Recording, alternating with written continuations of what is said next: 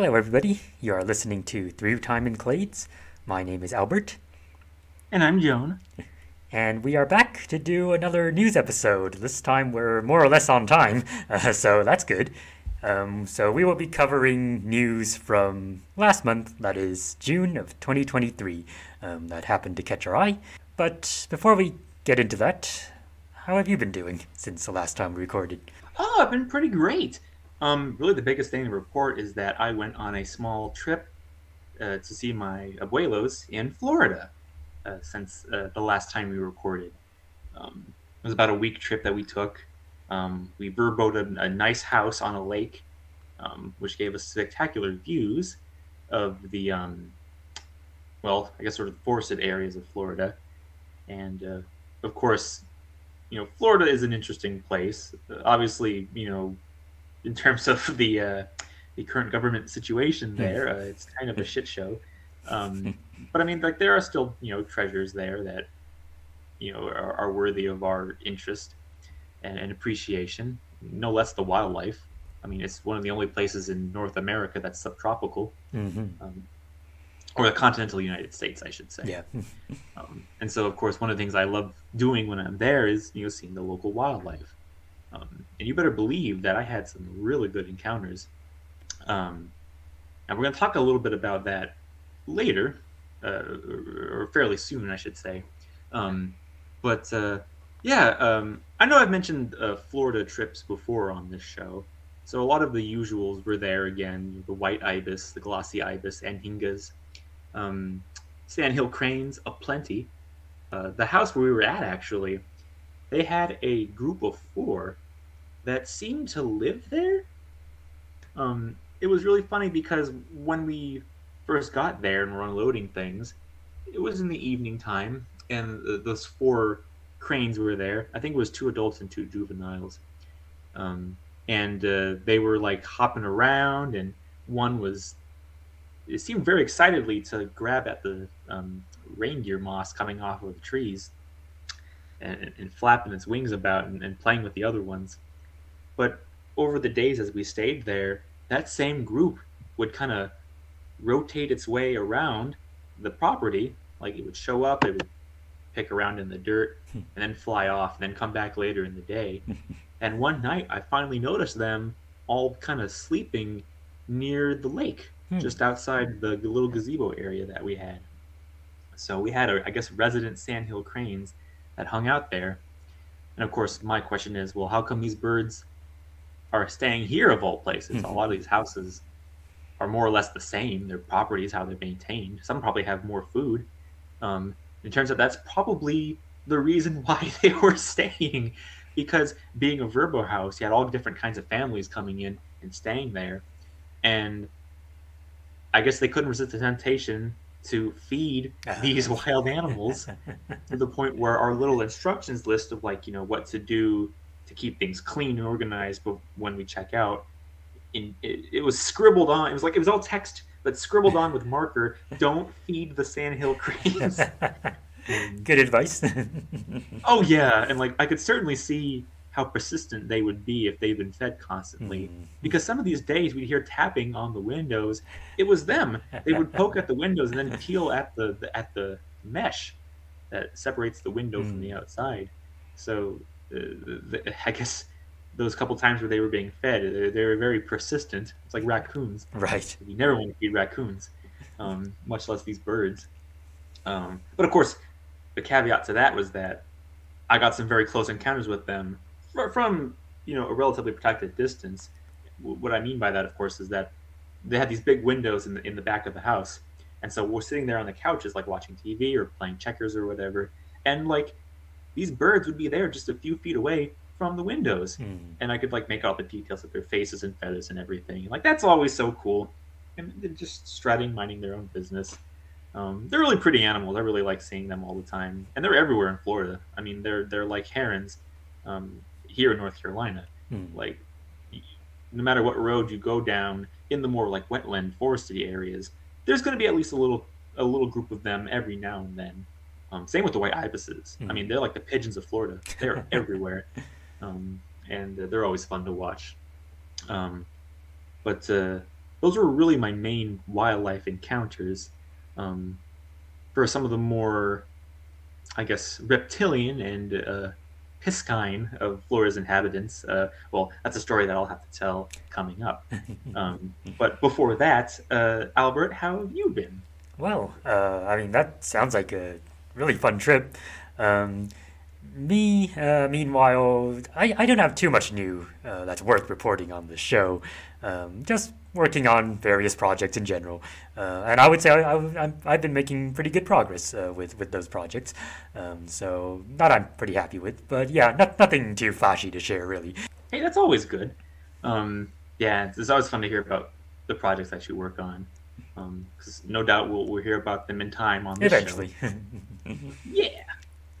Um, but yeah, uh, Albert is right. Uh, we have a, a, I guess, more of a proper news episode this time around, where we have just one month.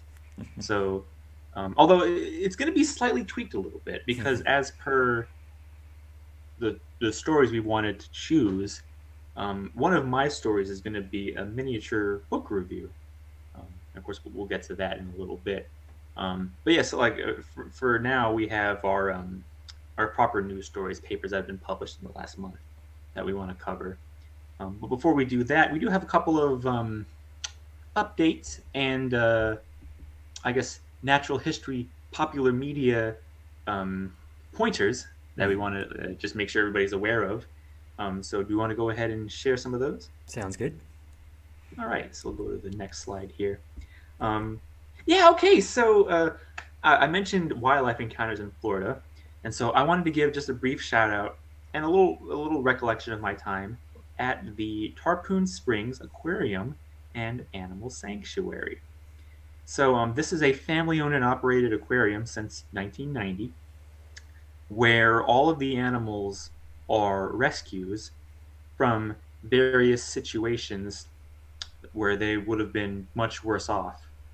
Uh, so that includes animals that were kept as pets, you know, exotics, for example, that people couldn't care for anymore, or that they tried to release into the wild, or animals that were wild, but they've come into human situations and contact that would have left them vulnerable, and they had to have been taken care of and probably relocated otherwise. Um, so yeah, this is one of those uh, um, aquarium trips where we were looking for things to do one day, and we had noticed that a lot of the zoos and aquariums that we usually like to frequent were a little bit yeah on the pricey side nowadays than what we were used to. So we wanted to try to find something a little bit closer and more local, and we found this place. And it was a short drive away. So Tarpon Springs, it's a coastal community in Florida. Um, has a huge Greek population, which is very apparent in, in, like the restaurants and some of the street names and whatnot. Uh, very neat. And uh, this little aquarium, which is about an acre in size or so, was there for us, and we went and spent about an hour there. Um, and initially, I was a bit concerned because I am familiar with how some of these, I guess, family-owned facilities uh, might lack the necessary care and qualifications to take care of some of the animals that they have. Mm-hmm. Um, I don't want to name any names, but I've, I've been to some places in the past that I look back on them now and I'm like, oh gosh, that that's not a good that's not a good zoo, or it's not a good place. Mm. Um, but I was happy to discover that the Tarpon Springs Aquarium was not one of these places. In fact, it was very much up to par with the type of animals that they were caring for. So, being an aquarium and animal sanctuary uh, that takes in rescues, the majority of the animal stock are um, oceanic fishes, um, and reptiles, uh, specifically Florida natives, or at least uh, uh, um, species that are commonly found in the in the U.S. southeast in the, in the swampy regions. Um, and so you go in, and they have like the two large oceanic enclosures where they have various sharks and fish, um, and then they have a large reptile section with sliders and iguanas, and of course um, the Burmese python, uh, which is a, an invasive into Florida and so goodness knows they had a couple of them there that no doubt were uh, owned by people who thought that pythons make good pets, mm-hmm. or at least um, uh, novice pets, I should say. because obviously there are people that keep snakes that have you know the proper qualifications. At the very least, they're, they're older. Um, but uh, I definitely want to give a shout out to one of the workers there, uh, Paige Conger Henry, who provided a very wonderful reptile feeding show and clearly showed her expertise and care with these animals. Again, family owned business. She'd been there for years and years.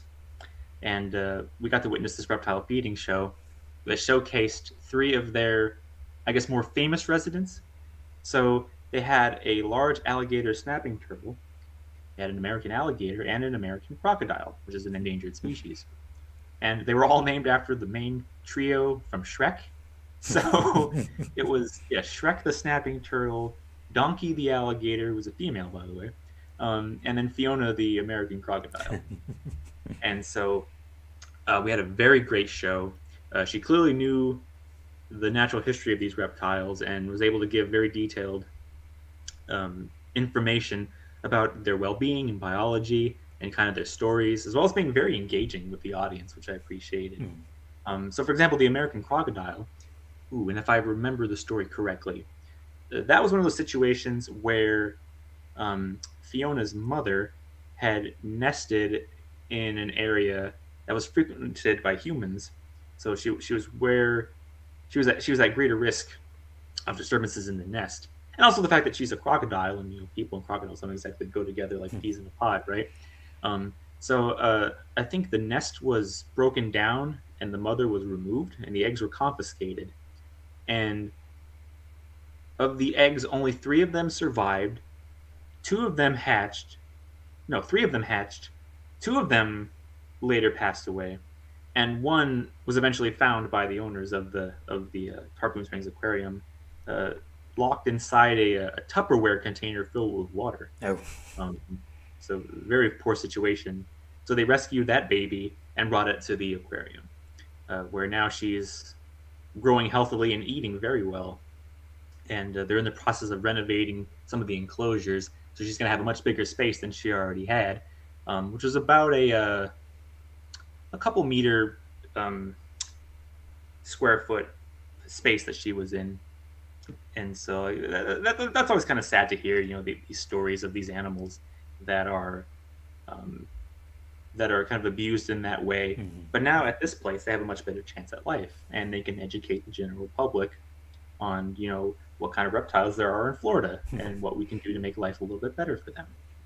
And so I definitely had a good time at the Tarpon Springs Aquarium. I want to give my shout out to them.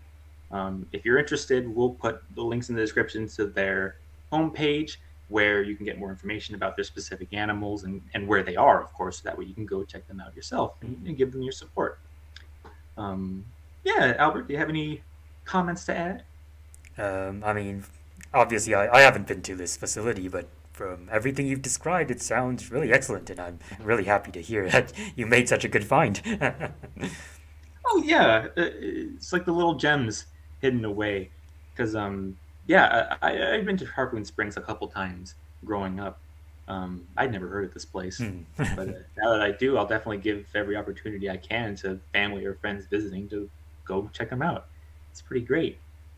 Um, so on top of that, uh, there were also two natural history series that have recently released that we feel our viewers might be interested in checking out.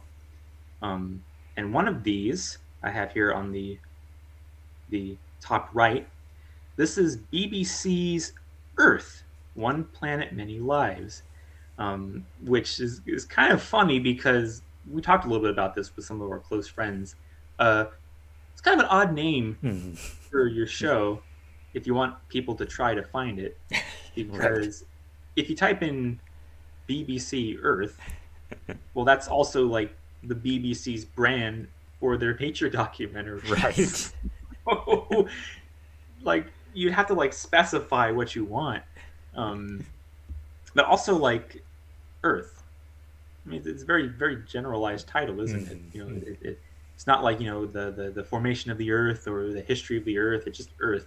Um, so like not planet Earth, right? Know, or anything like that, just just Earth. Um, but I- am sure they had their reasons for naming it the way they had. Um, yeah, so th- this dropped recently um, on BBC Two, um, or at least it's available to stream on the BBC iPlayer. I, I don't remember if it's aired on TV already. Um, but it's hosted by Chris Packham, who I understand is well known in natural history documentaries as a presenter, paleontologist. Um, and essentially, it is a mini series of about five episodes that talk about the interplay between geology and biology. And so, doing that through the context of the history of the planet.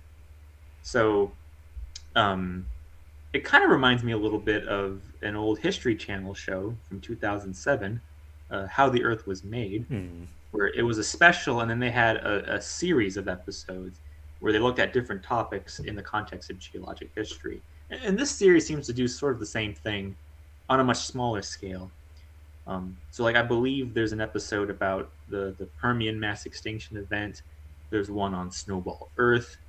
Um, there's one about the greening of the planets, you know, the first land plants and, and oxygenation and that sort of thing. Uh, so it seems to be pretty well covered in a lot of the sort of big events in the, in the history of the planet. Um, and they dropped a trailer. So as I understand, neither of us have watched this series yet. If Hmm. I'm correct in saying so. Yeah, that's Um, right. Yeah. So all we've seen so far is the trailer, and um, it looks really cool. Uh, I mean, yeah, the trailer shots you, you see Snowball Earth. They have Ediacarans in one clip. Um, they show these the giant um, Silurian Devonian fungi that used to grow on the surface of the planet once upon a time. These giant uh, um, prototaxites and, and, and related forms. That I mean, think of a tree that's a fungus. And that's basically what this is. Just a giant fungal sprout, and and with goodness knows a huge mycelium underneath. Hmm. Um, that was like one of the biggest things on land at the time, um, as well as like some Triassic reptiles, which I understand one of our good friends, Sky, had actually consulted Hmm. on this series Yeah. regarding some of the Triassic animals. So it's kind of fun when that kind of small world stuff happens, right? Like, oh, look, this big documentary series is on TV. One of our friends helped to make it. It's like, oh, that's awesome. So like, it looks really cool. I hope to see it soon. Um, I don't know when, when or if it'll come to America at, at all. Um, so Al, you'll probably have a better chance of seeing it than. I will, because the BBC iPlayer works in your part of the world. right. so um, I'm sure once we hear more about it, we'll let you all know about it. Um, but what I have been able to see um, is the new Netflix series, Our Planet 2, Hmm. which is shown here in the, the bottom right, these wonderful um, penguins. Uh, so, Our Planet, the original, aired a couple years ago on Netflix. It was part of this new programming slot that they've been trying to do to bring natural history documentaries of a BBC quality to you know the streaming service, Hmm. which seems to make simultaneously great and terrible decisions. It doesn't seem to know what it wants to be. right. Um, but I will say that Our Planet, as a series, is generally pretty good. Um, there are a couple things here and there that I know are iffy about the show. Um, in terms, if, if you're interested in like how much in a nature documentary is real, quote unquote, and, and, and which is kind of edited to make it to make a coherent story. Um, I know Our Planet has suffered from that sort of situation regarding a, a sequence with walruses um, which I mean, that's a, that's another story we can get into at another time. Um, but overall, like the, the footage is about as best as you can get. It's a David Attenborough narrated series um, with some very spectacular footage. So the original Our Planet was about biomes, right? They did the whole oh, it is an episode on jungles and deserts and blah blah blah. That we're- pretty used to with these recent um, BBC series. But Our Planet Two, um, which is four episodes only, um, focused on animal migrations. And of course, that's migration in the very widest sense, just simply the movement of animals uh, from their home range to another place and then back, depending on the seasons or resource availability or what have you. Um, which makes it for a very interesting niche subject.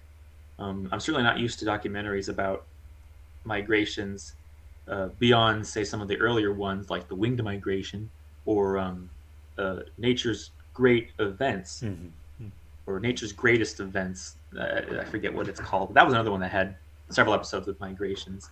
Um, but this one is definitely more broad, and so it included everything from uh, the travels of honeybees to new nests, and kind of showing how that process works, where the individual bees scope out a nest hole, then they come back, do a little waggle dancing, and then the other bees go and confirm whether that hole is actually viable for the nest or not, which is some very interesting cognition Mhm. um, to the travels of army ants. So there's a sequence with army ants in the Amazon where they were moving their entire colony to a new nest, including dragging the queen along, um, which is always and all the larvae with them, which is always fun. Um, to things like the Laysan albatross, um, which is a very famous case study now, uh, being these seabirds that live in a polluted environment where there's just plastic everywhere, and kind of how they navigate sailing from their island to become like true oceanic birds. But they have to navigate, you know, being suffocated to death with plastics and with tiger sharks that like to swim up and grab the birds as they sit on the water, which is very harrowing if you can get through both of those. Um, to yeah, let, us see. There was there was a really cool sequence with um, with uh, orcas. So they have the gray whales, which uh, is another um, of the baleen whales, these big ones that have uh, the the uh, uh, tubercles on their heads. They're, they're kind of like um, they're kind of bumpy looking, really neat.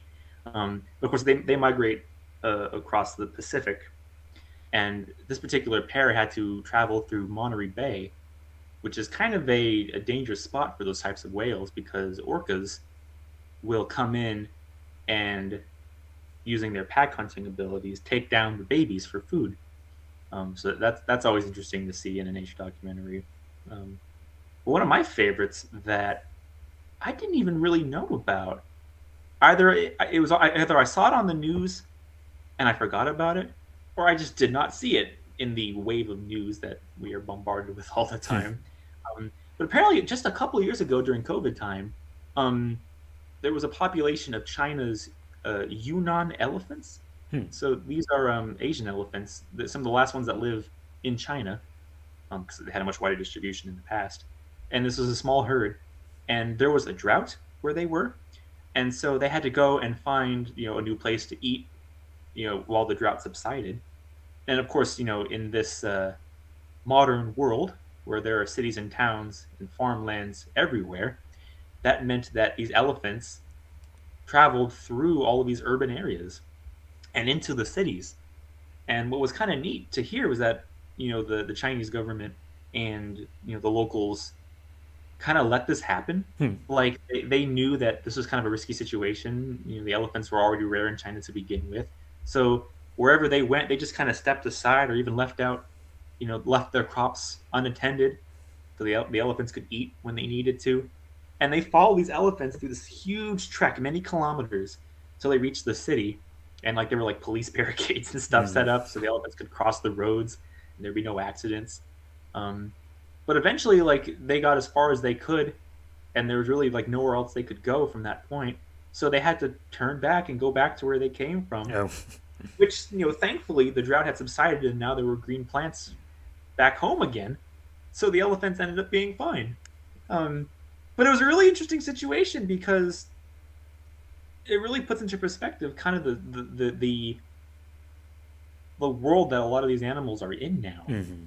you know, back in the past, before widespread human settlements like that, you know, the Earth was dominated by migrating herds. You know, animals could travel to and fro and, and enter new lands and cross oceans uninhibited. That was really their their their the world was their stage really to kind of go where they needed to depending on the seasons. And you know, human beings have kind of messed with that significantly because I mean, can you just imagine being a herd of elephants trying to cross a city? Hmm. Like, there's so many factors into that that are just almost impossible to deal with. Uh, and so, for a lot of other species, no doubt it's, the situations are even worse. They, they're not as lucky to get that kind of support.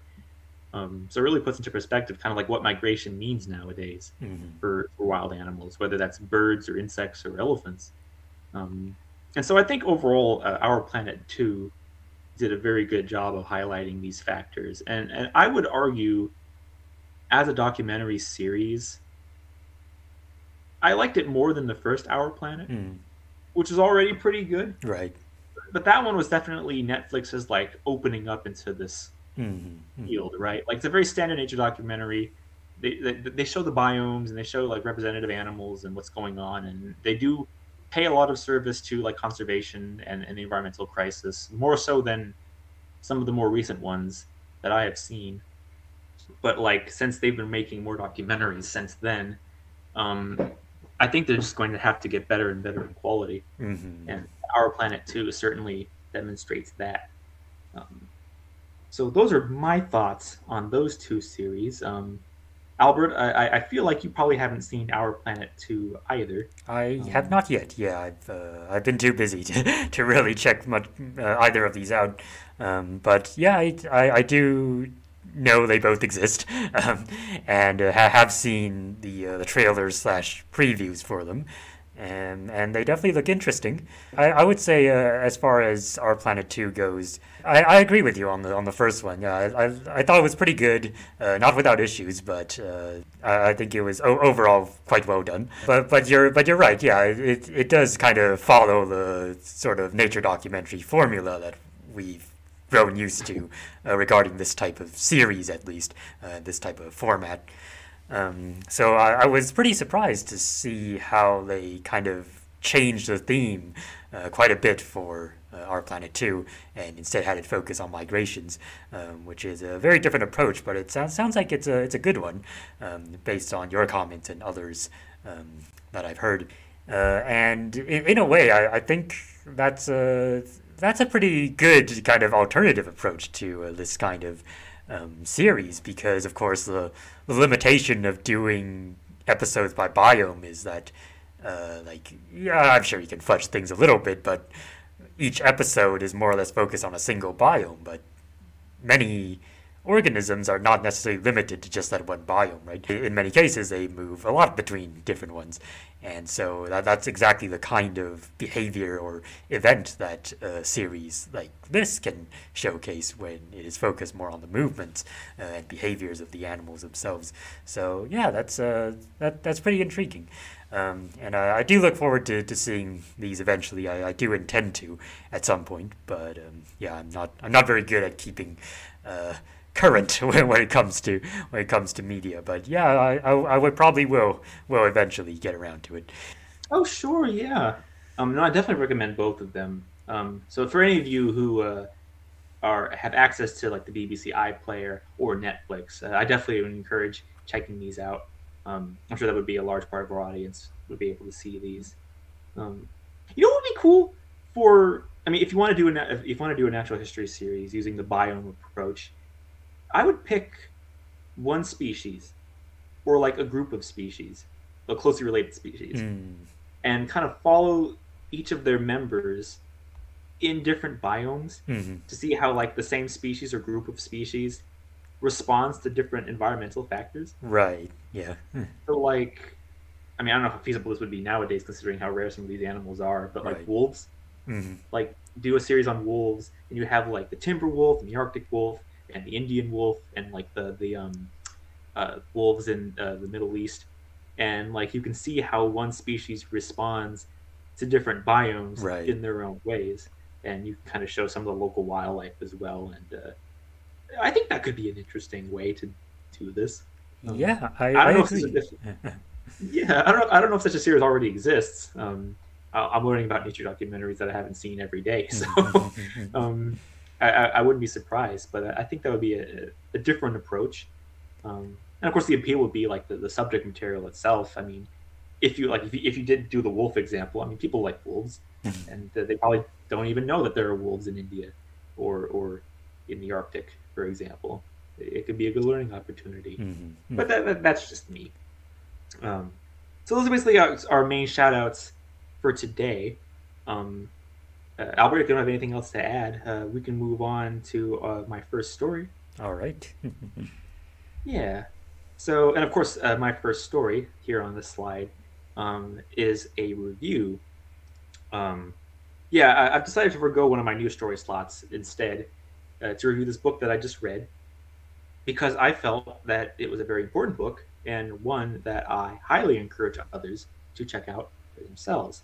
So, uh, in particular, this is The Unnatural History of the Sea uh, by Callum Roberts. This was published in 2007 by Island Press.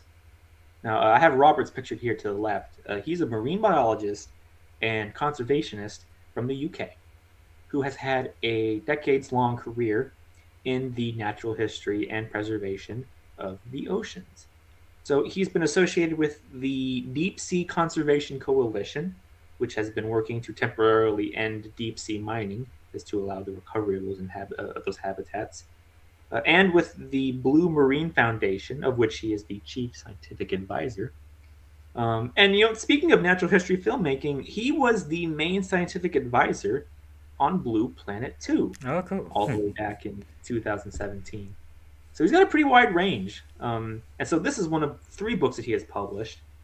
And this was alerted to my attention by our friend Dr. Darren Naish uh, quite a couple of years back. Um, it was during one of the TetZoo podcast episodes that uh, he had briefly mentioned he was reading it. And he gave a little bit of a small description of what it was about. Um, and of course, I was immediately intrigued. I thought it was a neat idea for a book, and I wanted to check it out. So it had been on my wish list for many years before I finally was able to purchase it last year. And it was only within the last few weeks, including while I was in Florida, that I decided to finally read it. Um, you know, that's the nice thing about books. You know, they're patient. um, so, the particular subject of the book is one that I'm sure will speak to most of our viewers. Uh, that is the rapid defaunation of the oceans at the hands of human overfishing. We had discussed this aspect of anthropogenic change in the last episode of Humanity a Prologue, where we briefly outlined aspects of harm done to the oceans in our admittedly incomplete survey of the environmental crisis. And having finally read Robert's book, I not only have a greater understanding of the situation we've been placed in, but I've also gained a realization of just how much we've already lost. Mm. And it is significantly more than I could have even imagined. Um, so for now, I want to highlight the main points and findings of the book, kind of give my overall impressions and thoughts, and then I'll open things up to you, Al, uh, to discuss some of these things. So, one of the key themes of the book that Roberts discusses is shifting baselines Mm-hmm. And that's the idea that our conception of normal nature or a given environment like the ocean is fundamentally flawed because we were born in a time after such dramatic changes have occurred and we have no frame of reference for those changes. Mm-hmm. We're born and we think that the world around us is or was perfect and then we witness more changes to the environment and we lament those losses. But if we only look at the evidence or read past accounts, we learn that what we considered normal was actually far from that. And, and these ideas shift over the generations to the point where there's an overall social or societal amnesia, if you want to call it that, that prevents us from seeing how things should truly be and have been in the past. And this creates problems for conservation movements because it means that without the benefit of knowledge, of that knowledge, we'd be trying to restore environments that we thought were pristine or in fact emptied and defaced centuries ago. And this is where the book really shines. Roberts investigates two periods of anthropogenic change, looking at historical fishing records, the old accounts from explorers and captains, pirates, uh, archaeological sites, and, and then some. And he shows that the oceans were a far more abundant and rich place than we today could even have imagined. Hmm. And he shows how we got to where we are now. And admittedly, it's a very bitter and rough story to get through if you're passionate about these things. So, that first period begins in medieval Europe around the 11th century AD uh, which is where he places the origins of intensive fishing. So it seems that after clearing their forests and then damming, overfishing, and polluting their lakes and rivers, Europeans began to turn to the oceans for their sources of fish. Fish were already highly valued and seen as prestigious food, um, and as Christians, they needed a source of protein for the days of the year where they couldn't eat livestock. Hmm.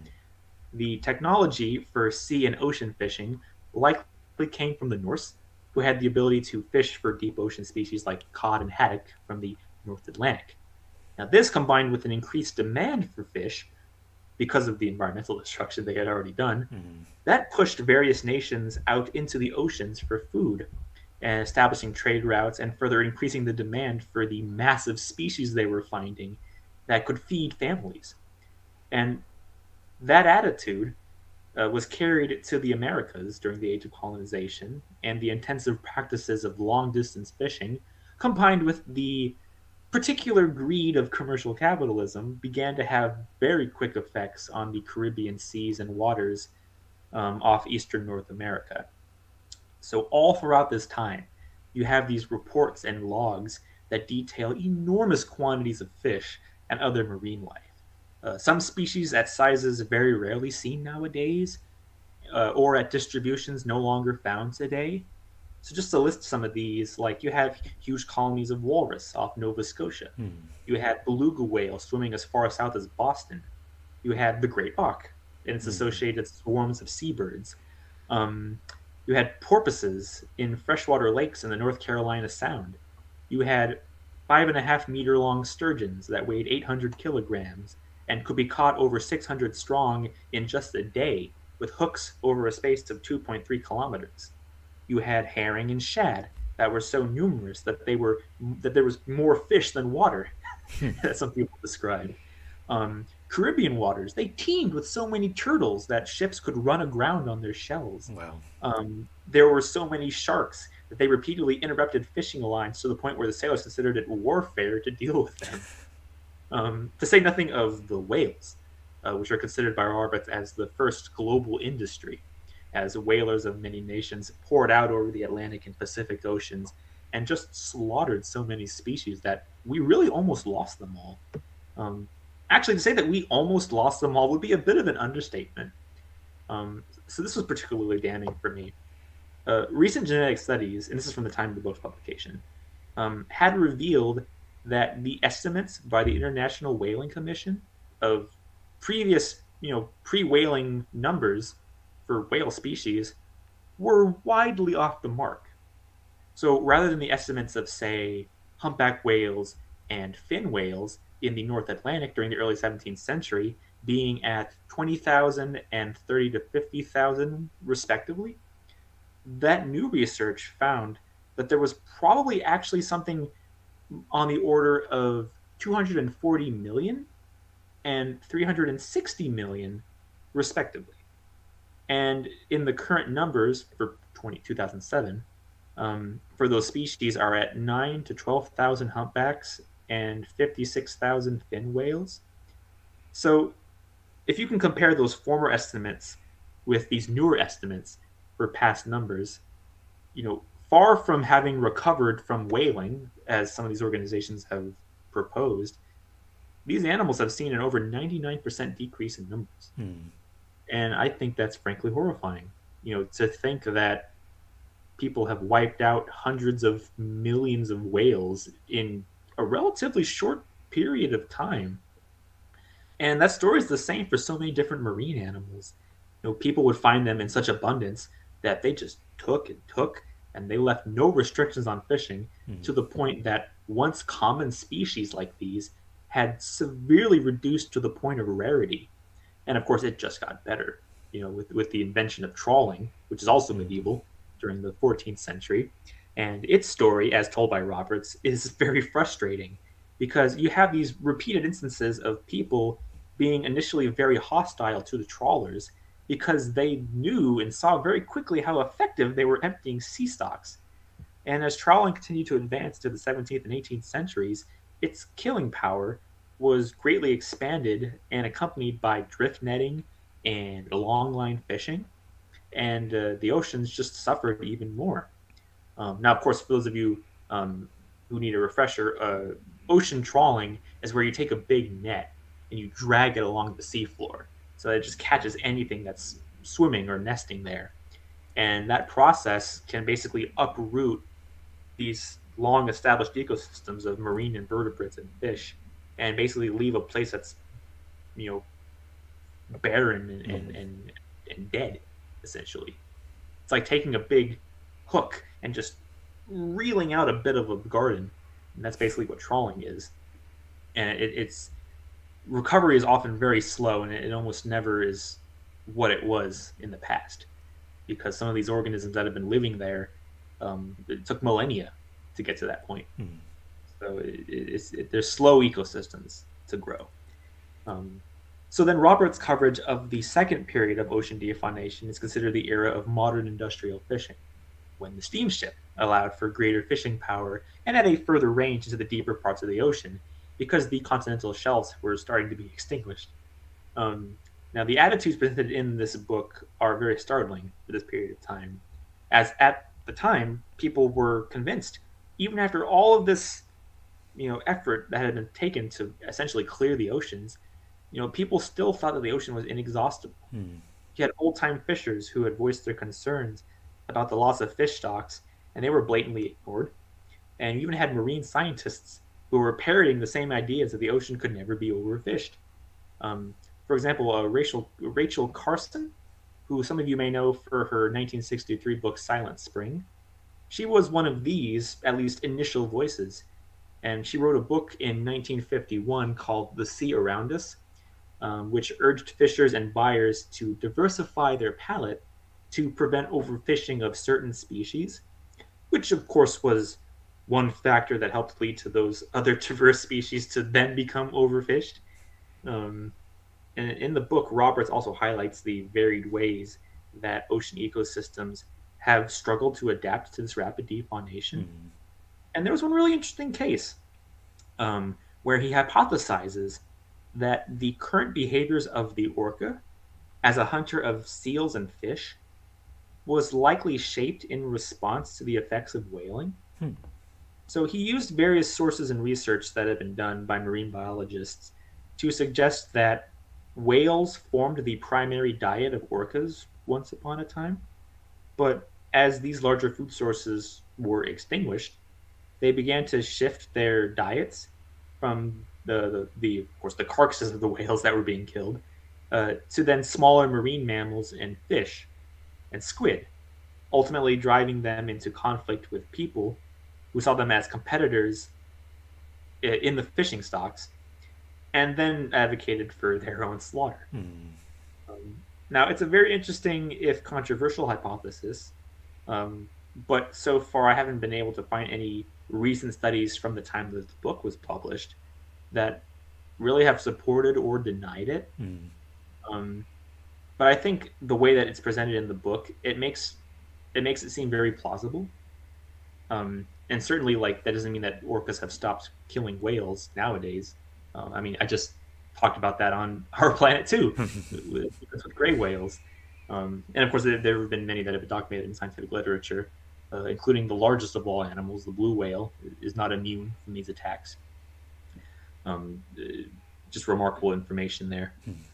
Um, but anywho, uh, the book continues to show how Europe's own seas were emptied during the early decades of the 20th century, and how this was being increasingly made obvious by new research and observation. Uh, so some nations like Britain had passed acts which set minimums on fishing, um, but of course the fishing industries responded by simply moving to more distant waters. Um, and so you had more and more trawlers scraping the ocean floor, and so cutting away enormous populations and communities of mollusks, corals, worms, and crustaceans that had grown over millennia. And so the book now begins to document the collapse of fish stocks one by one and shows just how quick that process can be. So, in one example, uh, the herring fishery off East Anglia was one of the first to go in 1955 after supplying food for over a thousand years. And then across the 60s and 70s, more and more herring stocks collapsed until a moratorium had to be called, as it was discovered that herring had been overfished by 70% in the North Sea. And so when the herring fishery finally reopened in 1981, those catch quotas were never the same. And on and on it goes, whether it be cod fishing off Canada and New England, uh, or totoaba and abalones off California. And so by the end of this section of the book, Roberts describes how the last great wilderness of the very deep oceans, you know, even they could not escape the onslaught of overfishing and trawling with their technological advancements, showing areas that had not that had not even been scientifically explored were already destroyed by the time scientists got there. So they had no idea like what it was like beforehand. Um, you know, what species had not been described by science that had been lost before they even knew that they were there. And so Roberts rather gloomily states that you know these revolutions in fishing technology were and are ticking time bombs that hasten the declines of marine life and leave no winners for the seas or for people. Um, but of course, rather than end on that note, Roberts does make a bold case over several chapters on what can be done to prevent further losses. And it's here where he really outlines his own suggestions for the reinvention of fishery management, which includes a significant reduction in the amount of fishing, the elimination of catch quotas, and decision making by politicians who are unversed in marine science, uh, and the requirement of fishers to keep and use everything that they catch, as so much of the killed collections by trawling are often just dumped back into the sea. Mm. Um, one of the most important suggestions on top of these is the creation of marine reserves, and many more of them. And as the results of these reserves, where fishing is outright banned, have clearly shown time and again that they are effective in boosting fish numbers and increasing diversity. But right now, there are too little of these. And the estimates by marine scientists argue that anywhere from 20 to 40% of all the oceans should be protected in this way in order to give it a fighting chance. Um, and so we end on a rather optimistic note with Roberts hoping that the ultimate fate of his book is that it becomes a curiosity at used bookstores in the future where people reading it will kind of shake their heads in disbelief that we, we almost got to that point of destroying all of the oceans. Um, so overall, you know, I, I, did find this book to be really engaging. It was well written, heavily researched, um, I had some recollection of this idea that the ocean was much grander than we could have, you know, believed, mm-hmm. uh, and that was mainly helped by, uh, uh, incidentally, a small blurb from a History Channel show, Life After People, where one of the talking heads mentions these historic accounts of a bountiful sea. Um, so to finally read about it directly and and see the numbers for myself was very worthwhile after all these mm-hmm. years. Um, certainly very helpful in my understanding of the past. Um, now, admittedly, one of the downsides of this book is its age. Mm-hmm. This work is 16 years old, and we've learned a lot more since then. And a lot of that mainly concerns the current threats to the ocean. Mm-hmm. Um, so, this was written at a time, for example, when coral bleaching uh. was not understood to be a serious issue. Um, now, the destruction of coral reefs is mentioned in the book, but that is never described anywhere. Um, or that they don't. This is before uh, the domino effects of anthropogenic climate changes were fully understood. Like Roberts discusses climate change in the book, but he never factors it as a possible barrier to the health of the marine reserves that he proposes. Mm. Um, so those were, you know, notable missing areas that would have made this work even better and more complete than it was. Um, now, of course, I've since learned after reading this book that Roberts himself wrote another in 2013 called The Ocean of Life, mm. where he recapitulates what he wrote in Unnatural History and then continues into the present to address those very concerns I just raised. so, yeah, maybe then I'm due to read that book. and, uh, our viewers could consider acquiring both works and reading them together if they so choose. You know, as one can get a full understanding of the ocean's current situation. Um, because otherwise, like Unnatural History is still a very great book. Mm-hmm. Uh, I still highly encourage people to check it out. If anything, for those historical anecdotes, um, which make up the majority of the book, um, and the coverage is, is, is fairly broad because like it's it's about overfishing, but it's not just about fish. Like you get whales, you get pinnipeds, you get a lot of time with marine invertebrates, um, and and sea turtles. So it's a broad scope of ocean life. It's not just the fish Mhm. and sharks. Um, so it's very um, it has a good it has a good oh uh, uh, zoological scope, I guess you could call it. Um, but yeah, uh, th- this this current situation of the ocean is very serious, and it's honestly very heartbreaking to me to know kind of what was taken from us through greed and carelessness before we were even born. I mean, I would have loved to live in a world with hundreds of millions of whales and clouds of seabirds and vast shoals of sharks and other fishes and a seafloor covered in invertebrates. Um, and I can only hope that we can find the will to create a world where we can have that again. Um, but as the book demonstrates time and again, I, I did have to kind of recognize that that would take time and quite a lot of time Mm. for stocks to boost again. So I I myself might not get to enjoy it if we do so. Mm. Certainly, future generations will, and that's a, a bit difficult to grasp for me.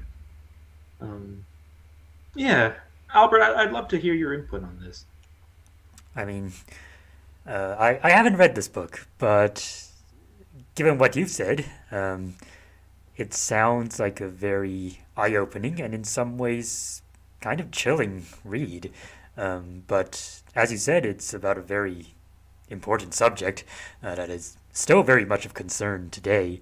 Um, so it seems to me that, yeah, I think uh, more people should be encouraged to, to read this book. Um, and I probably will be putting it on my infinitely long um, reading list. Um, so we'll we'll see we'll see uh, when when I get to that. But um, it definitely sounds like a very very good book, uh, very very worthwhile.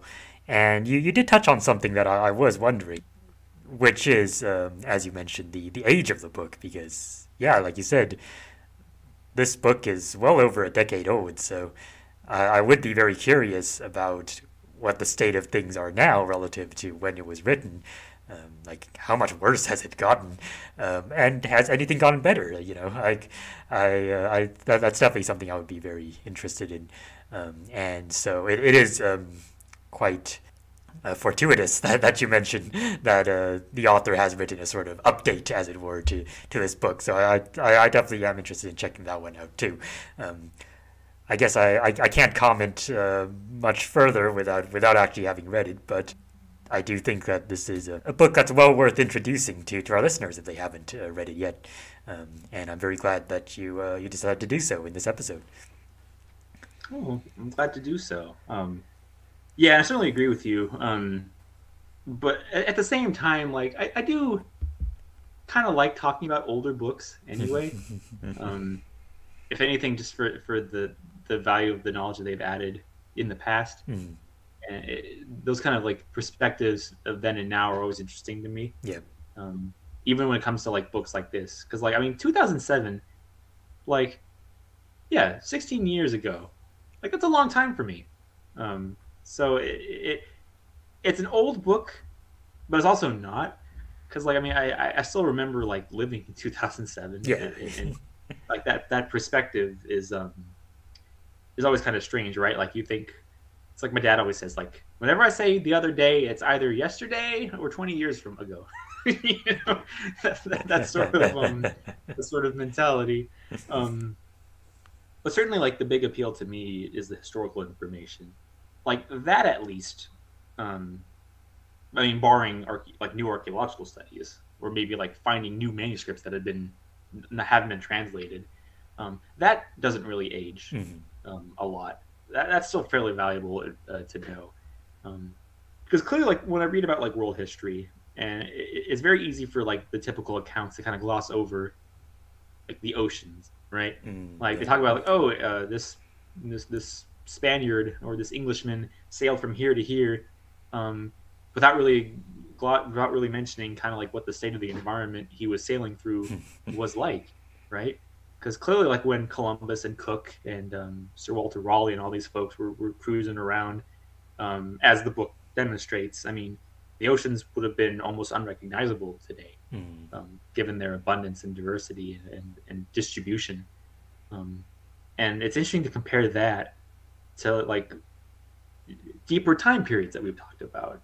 Obviously, like on uh, Dinosaurs, the second chapter, we talked about how in relatively recent times, in the Pleistocene at least, um, you know, North America had so many different types of birds of prey Mhm. and water birds, and even in like historic times, with the diversity of North American birds that was alive then, Mhm. like that was just peanuts compared to, you know, a couple thousand years before. Right. And so to kind of compare those perspectives to the oceans, who again, you know, they, they seem so vast. And like, how, how could it be that humans have had such an impact? And it's like, well, Hmm. there's the evidence right there. I- It's all laid very clearly in the book. Um, it, it seems no part of the earth is spared from intense anthropogenic activity Mhm. and uh, you know like that, that that's an important lesson to take away i think um, so yeah definitely i i um i highly encourage uh, checking out Callum Roberts' work um, we will definitely post links to not only this book but to the, the newer one as well um, and who knows maybe you know down the line i, I will acquire uh, robert's newer book ocean of life and I'll, I'll read it for myself and i'll give my thoughts as well um, because uh, as I understand it from like the, the descriptions that I read, it not only updates information in this book, it actually extends the timeline even further back. Mm. So it's like a history of, you know, the oceans throughout like the life cycle of our species, right? Mm. So it, it goes into deep time. So it's kind of like the ultimate update to this book. um, and I'm sure he'll probably recount a lot of the information here already um, about whaling and, and the collapse of fisheries, for example, and the inventions and the inventions that have facilitated that. Um, so yeah, we will definitely let you know about that. Um, but yeah, unnatural history of the sea. That's all I have to say for now. Um, if you have if you have anything else you want to add, we can move on to your your first story. Uh, sure, we can do that. All right then. So I'll be doing more of a, a standard uh, set of news stories, well, which is what I usually do, I guess. I, I don't usually deviate from the formula very much, but that's not to say these stories aren't interesting, because uh, I think they're very interesting. Um, so our first story is going to be one about plants. Uh, so that's, I, I don't know, pretty cool, I would say. Um, uh, it's uh, it's always it's always nice to be able to kind of dip our toes into the, the botanical realm a little bit. Uh, we've certainly talked about on the show um, the phenomenon of plant blindness, uh, people just being generally less familiar with plants in general, and that's certainly true of me personally. But um, this study on plants definitely did catch my eye for several reasons, and uh, obviously I, it is something I, I do want to get better at. So I, I think uh, this is a pretty good opportunity to do so. Uh, so this study covers a group of plants called the cycads, and it studies their phylogeny and evolution. So right away, uh, you might be reminded of um, the study we discussed last episode, in the last news episode about butterflies, which where they did a big uh, kind of phylogenetic uh, tree of butterflies, um, or they reconstructed the phylogenetic tree of butterflies and uh, tried to figure out what that could tell us about their evolution over time. Um, and so this study did something very similar with the cycads. So, uh, what are cycads anyway? Well, uh, cycads are a group of gymnosperm plants, um, so so-called naked seed plants, and that makes them relatively close relatives to things like conifers, uh, which are also gymnosperms. And most cycads grow as trees, essentially. Um, and today they are known from, you know, couple hundred species or so, uh, primarily found in tropical and subtropical regions. They look quite a lot like a different group of trees that people also tend to associate with the tropics. Uh, those are the palm trees. Um, However, they're not closely related to palm trees. Palm trees are flowering plants, angiosperms, um, whereas cycads are gymnosperms. So they kind of have a superficially similar appearance, but that is convergent evolution. Um, so some of the things that make cycads and palm trees look pretty similar um, are that uh, in both groups, the leaves grow from the top of the tree, um, and as the tree grows, they kind of fall off as uh, closer to the base, and so you have this kind of bare trunk uh, for most of the tree's height, and a big cluster of leaves on top. And furthermore, uh, most cycads don't have kind of major branches coming off of like the, the bottom of the trunk, for example. It's, it's not like um, you know a typical conifer where you have uh, branches all along the trunk, even close to the base. Uh, like think think of it, what a typical Christmas tree is shaped like. Um, instead, uh, you have this kind of very bare trunk um, and leaves on top. Uh, so that's uh, that's what most cycads look like. Um, in fact, there are some types of cycads that are kind of colloquially called sago palms. Um, which is very confusing, uh, not only because they're not actually palm trees, but also because there are actual palms that are also called sago palms. So uh, that's one of those uh, things with common names that you can't really trust. Um, but you know, it kind of goes to show how, how similar those two groups are. Now, a few kind of uh, notable characteristics of cycads. They have what are called coralloid roots. Um, so these roots are basically like these relatively short and and thick and stubby roots, uh, and they're called coralloid because they kind of shape. They're kind of shaped like what you would think uh, a coral is shaped, like a typical coral. Of course, coral actually comes in all kinds of different shapes, uh, but like compared to what you might think of as a typical root, which tend to be very long and thin. Like you have these kind of relatively stumpy looking roots. And the main function of these coralloid roots in cycads is to uh, kind of provide a home for symbiotic bacteria, uh, which is pretty interesting. So these bacteria um, help cycads obtain some of the nutrients that they need um, and also produce some types of toxins that help the cycads protect themselves uh, from animals that might want to eat them. Um, and speaking of which, uh, cycads are also notable for uh, producing a particular group of toxins that uh, is unique to them. Um, which uh, is apparently a very uh, effective insecticide. Uh, so it's a way to prevent insects, especially from kind of chomping on their leaves and so on. So plants and insects uh, often have a very complicated relationship with each other. Um, and as we shall see, uh, cycads do also have other types of ecological interactions with insects. Now, cycads uh, are one of those groups of plants that have separate male and female individuals. Um, so, in some types of plants, uh, a single individual plant can have both male and female reproductive parts, essentially. Uh, but in cycads, they have uh, kind of separate male and female trees. Um, and so this is what is called a dioecious. The, the pollen of cycads is primarily dispersed uh, by beetles. So they have a very um, kind of strong mutualistic relationship with some types of beetles that are specialized for pollinating uh, cycads. Um, and this is also related to something we talked about in the last episode, isn't it? Because we discussed the evolutionary history of planted insect um, uh, mutualism, specifically uh, pollination, mm-hmm. over time.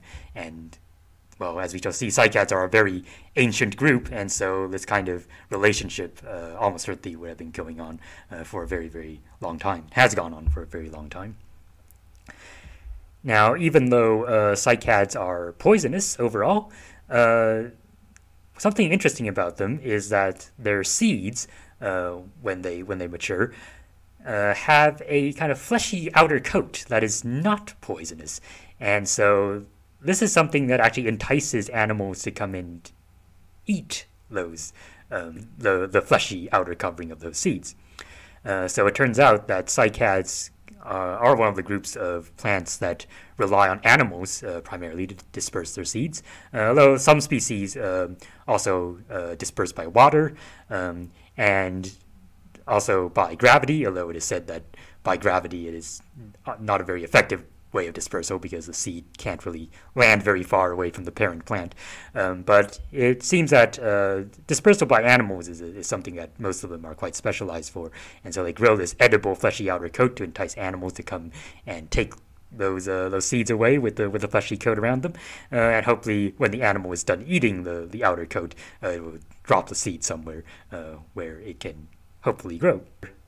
Cycads are very well known in the fossil record. So even though they are relatively, you know, restricted in their distribution today, they were uh, much more diverse uh, in the past and much more widespread in the past as well. So fossils of cycads have been found pretty much all over the world. And we know there were many, many different species in the distant past. Now, because a lot of these fossil cycads look pretty similar to the modern ones, a kind of cliche has been that, well, cycads are one of these quote unquote living fossils. They've been mm. around basically unchanged for millions and millions of years. Um, and they've just been kind of doing the same thing they've always been doing. Um, and in fact, uh, there's also this perception that they are kind of this old group that couldn't really keep up with the times, as it were, and that's why they've gone through this decline today. Um, has often been postulated that well, maybe uh, the large dinosaurs uh, were used to be the primary seed dispersers of cycads, uh, but since the big dinosaurs were wiped out at the end of the Cretaceous, uh, kind of cycads lost kind of their main partners in their in their ecological relationships and went through a major decline because of that. Or it has also been suggested that maybe cycads couldn't really compete with the flowering plants. So as flowering plants became more diverse um, uh, through the Cretaceous and through the Cenozoic, uh, cycads declined in turn because they, they couldn't keep up with them.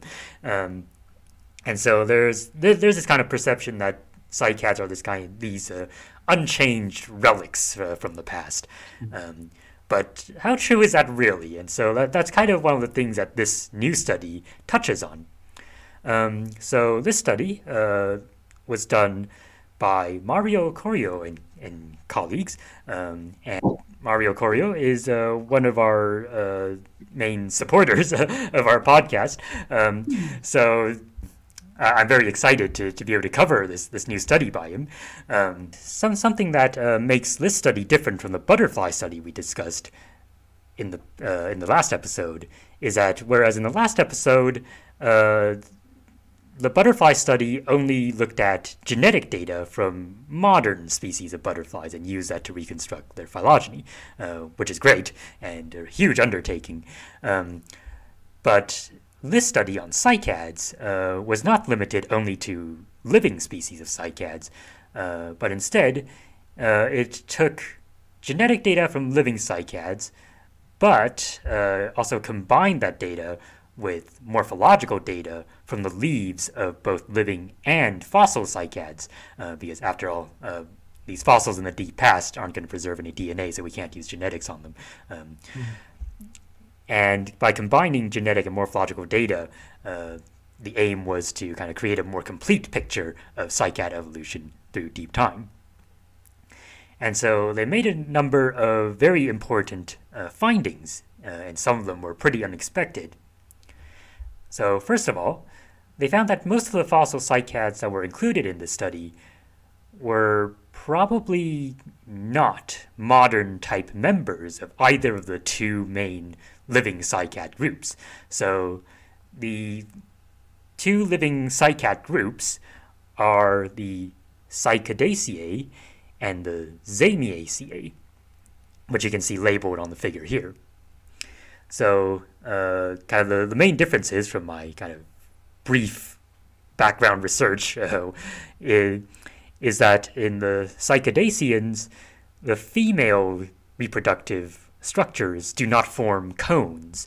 Um, so the cones are only found in males.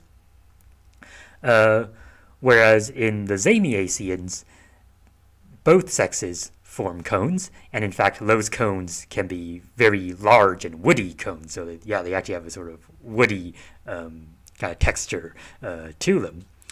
Um, So that, that seems to be one of the major kind of differences between these two different lineages. Uh, but it turns out that most of the fossil cycads that were included in the study uh, were not extinct members of like the, the modern uh, groups uh, of, of either of these lineages.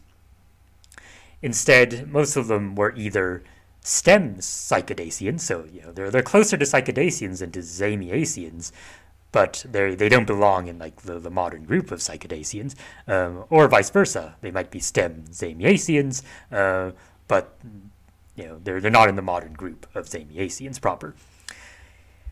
So, uh, what does this mean? Well, uh, one of the major implications of this is that we probably shouldn't assume that what's true of modern cycads is automatically true of many of these extinct types of cycads.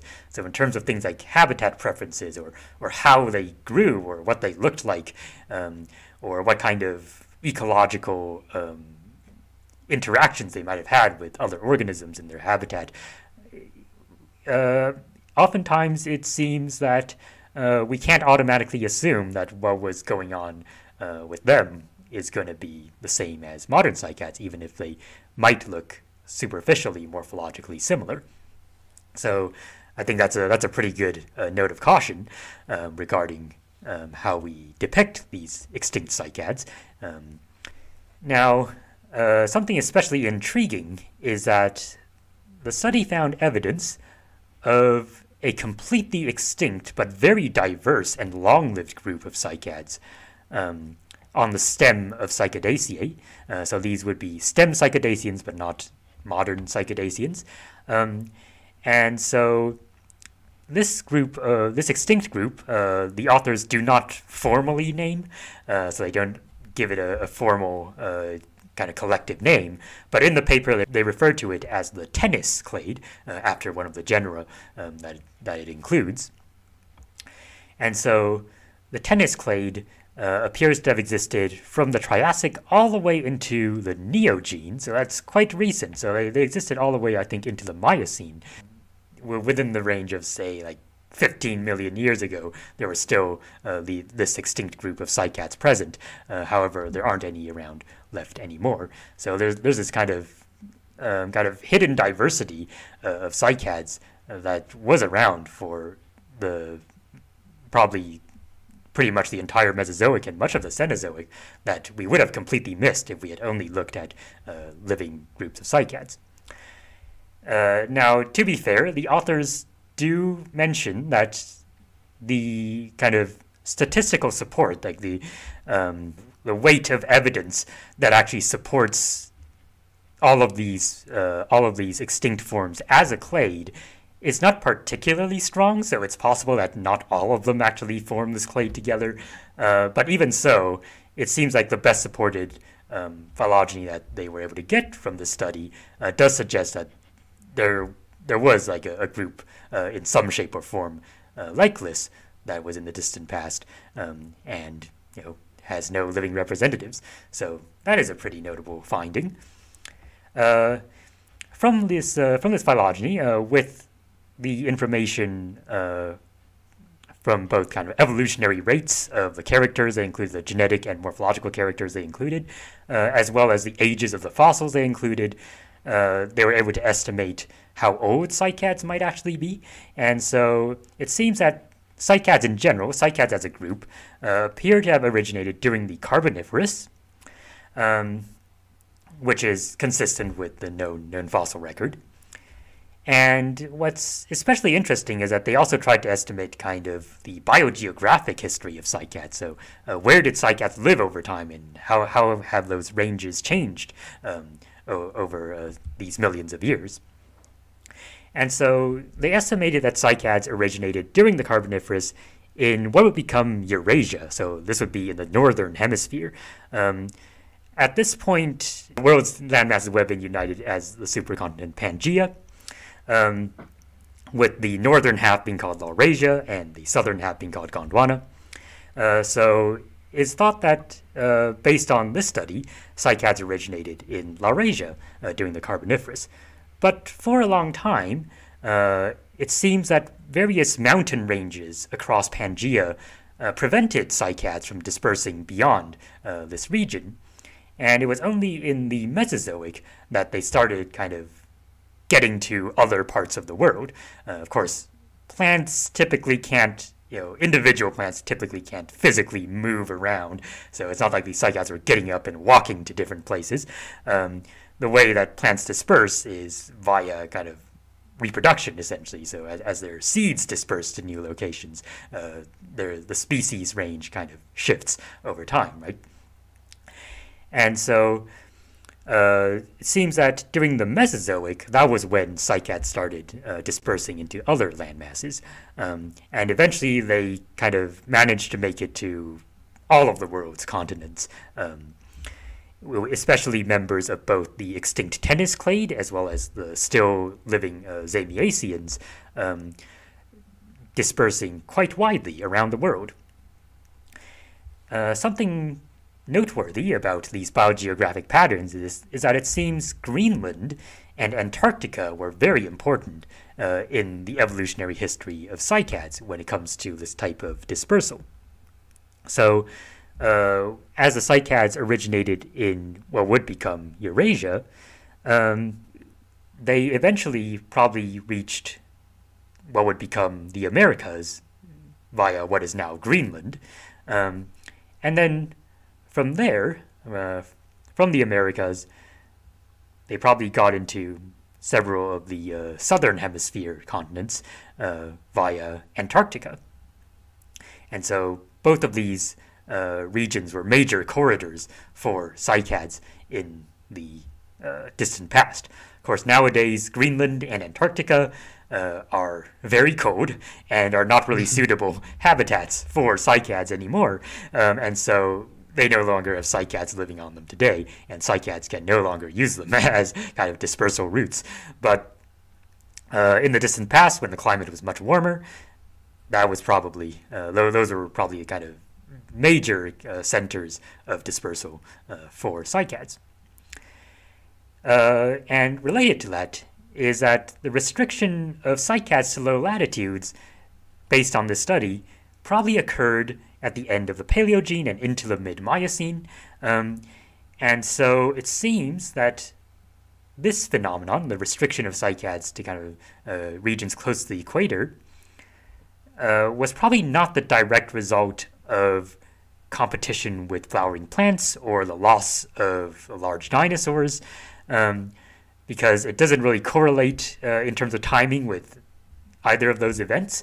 Um, instead, it correlates a lot better with kind of climatic cooling over the Cenozoic, uh, which makes a lot of sense because it seems that cycads were adapted to primarily warm environments, and as the climate got cooler and drier over the Cenozoic, uh, continuing to today, um, less and less suitable kind of habitat would have been available to the cycads and cause their uh, distributions to shrink towards low latitudes. Now, uh, it is very hard to reject the possibility that uh, there might also be kind of other factors at play. So maybe maybe there is some competition with the angiosperms, for example. But it does seem like, in terms of what evidence we actually have, it does not suggest that uh, this was a major driver of kind of the modern pattern of how many cycads there are and where they live.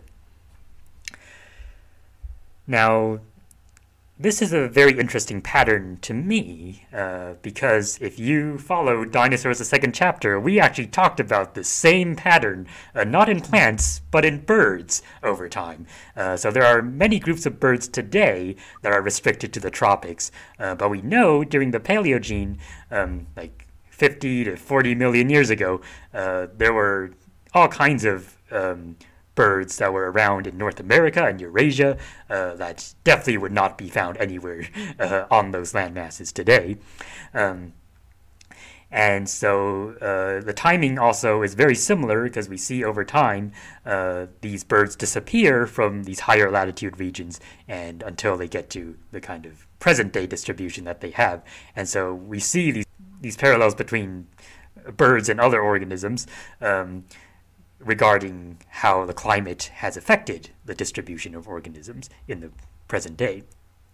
So all of that is a lot of good information about cycad evolution, and it strongly suggests that we shouldn't be thinking of cycads as relics of the Mesozoic, um, considering how recently a lot of these modern groups uh, originated, um, as well as the fact that many of these fossil groups do not actually belong to the to the modern groups, um, and the fact that there is no strong evidence that they were, you know, um, kind of being driven out by other groups of organisms. And uh, this study also emphasizes kind of the value of fossils in this kind of study, uh, because it turns out if they didn't include the data on fossils um, in their study, it would have been a lot harder to narrow down what was the likely kind of uh, regions of origination for cycads in general, as well as the different cycad groups. So the information from the fossils uh, kind of really helped uh, plug in a lot of these knowledge gaps, as it were. And this was true even if you uh, don't assume that places where we haven't found fossils um, were places where those species were absent. So that, that's never a safe assumption to make, right? Uh, just because we haven't found fossils somewhere doesn't mean that they didn't exist in, because there are a lot of factors that go into whether something gets fossilized. Um, but even if they kind of left it ambiguous whether or not certain fossil species existed on the land masses where they haven't been found, the addition of fossils still allowed us to narrow down um, kind of the distribution of cycads in ancient times. And so clearly uh, fossils are very important for this kind of biogeographic history. And that is also a point I made in Dinosaurs, the second chapter, regarding those bird groups, where if you only looked at the modern species, you would have a very misleading view of where these groups actually originated. Um, and so uh, that is a pretty brief summary, well, um, relatively speaking, of the major findings of the study. It's a, as you can tell, a very large-scale study covering a lot of ground, uh, so there are a lot of details that I've had to leave out. But um, it was you know, a pretty interesting look at this uh, um, long-lasting group of plants. Um, do you have anything to comment on regarding the study? well, I, I'll definitely admit that I was myself a bit surprised about the results of this paper. Mm, mm. Um, of course, granted, I uh, I am not well versed in plant evolution as I would like to be, um, but my general impression about cycads um, was not necessarily that they were living fossils, of course, because even, even I knew that among all the different types of animals and plants that are called living fossils, that almost never seems to be the case, and and it really obscures a lot of their you know their past history everything from coelacanths to tuataras, you know, have changed just as much as every other organism. Um, I, I, never like the idea that something looks prehistoric mm-hmm.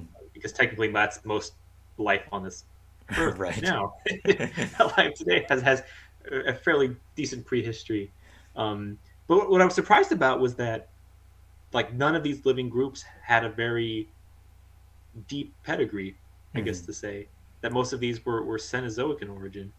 Um, that really surprised me, to be honest. I thought that mm-hmm. there'd be at least a couple that probably have a long line, but I guess with this particular type of study, that, that's kind of put an axe to that. Mm-hmm. mm-hmm. Um, I'm very curious how they were able to combine the morphological and genetic data because I'm not exactly familiar with how closely like the leaves of plants mirror their evolutionary history. Mm-hmm. Um, besides, like you know, being adapted to climate, for example. Right. Um, so as you mentioned, like they combined the the, the morphological data from the leaves mm-hmm. of, of, the fossils and living cycads, and that's how they helped uh, build their tree.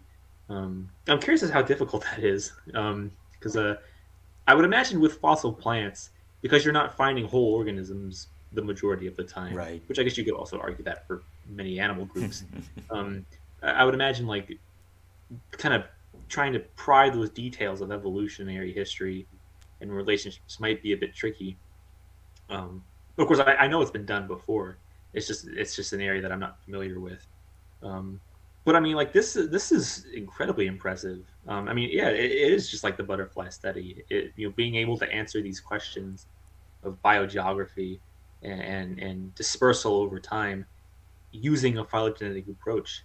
Um, but just the fact that they use it for like a plant group such as this mm-hmm. mm-hmm. is incredible um, and it is very revealing um, kind of what roles geography plays in the distribution of organisms over time, um, and, and how something that seems you know almost trivial, like say like the formation of a mountain range, can actually have such, such wide-ranging effects Mm-hmm. to where it would prevent the dispersal of these groups. Um, because I'm, I'm just thinking, giving the timing wise, like that, that's probably referring to the the early Appalachians, I would think, Mm. um, along with others, because the, the Appalachians are, are, are pre-Mesozoic, Yeah. and, and they- they formed from the collision of the continents that produced Pangea, and at the time they were like some of the most impressive mountains on the planet. Mhm. Um, so the, of course, me living near the Appalachians, I, it, it's interesting to contemplate these things, you know, a, as they once were, because now, of course, the Appalachians, given you know 300 plus million years of time, they, they have been whittled down significantly.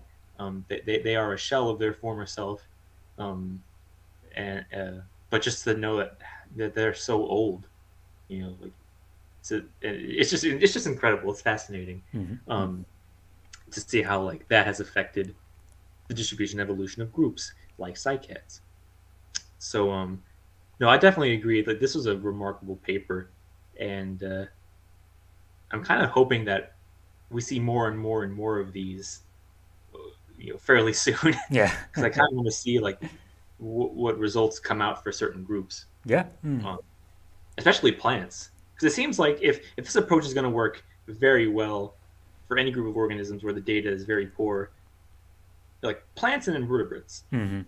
Or at least like insects and arthropods like those would be pretty good groups where we have a pretty decent fossil record but we're not we're not you know we're not finding as complete specimens as we would like Mhm. in a lot of cases um, i think that's going to be a really big driver in helping to understand these groups even better Yeah. and then compare that to like previous studies that have attempted to hypothesize these relationships. Um, this was a very good paper, Albert. yeah, I, I definitely enjoyed reading it. Um, and yeah, you're you're right. Um, some something something that's uh, that's notable is that well, uh, old mountains are low because uh, they get they get eroded over time, uh, whereas mountains that have been freshly built up, they're the, the tall ones. They're they're relatively young. Um, that's uh, that's definitely something that, that that was impressed on me in my uh, when I was studying for my geology degree. Um, and as for your question about kind of how, how informative kind of leaf characters are uh, when it comes to uh, plant phylogeny, uh, I, I mean, I, I'm not a botanist, so I, I don't really have a good handle on that specifically, but I would imagine one of the reasons they decide to focus on leaves specifically is that, first of all, they're, they're one of the most commonly preserved parts of, of plants, um, and also because of the uh, the problem you mentioned, where plant fossils are often not the entire organism. Uh, so there are some quote unquote species that are only known from leaves, and then some that are known from you know roots, and then some known from the trunk, or and so on and so forth. And so they probably wanted to kind of eliminate that kind of uncertainty by only focusing on the leaves in this case. Um, and so they do mention in the paper that, yeah, they, they weren't able to include some species of fossil cycads that are known from other parts, uh, which would be pretty valuable to include, but it's kind of difficult uh, because it's kind of hard to compare um, when you're, you have different taxa uh, that are known from completely different uh, body parts. Uh, and in some cases may even actually be the same uh, taxonomic thing. Uh, it's just difficult to tell with, with plants especially.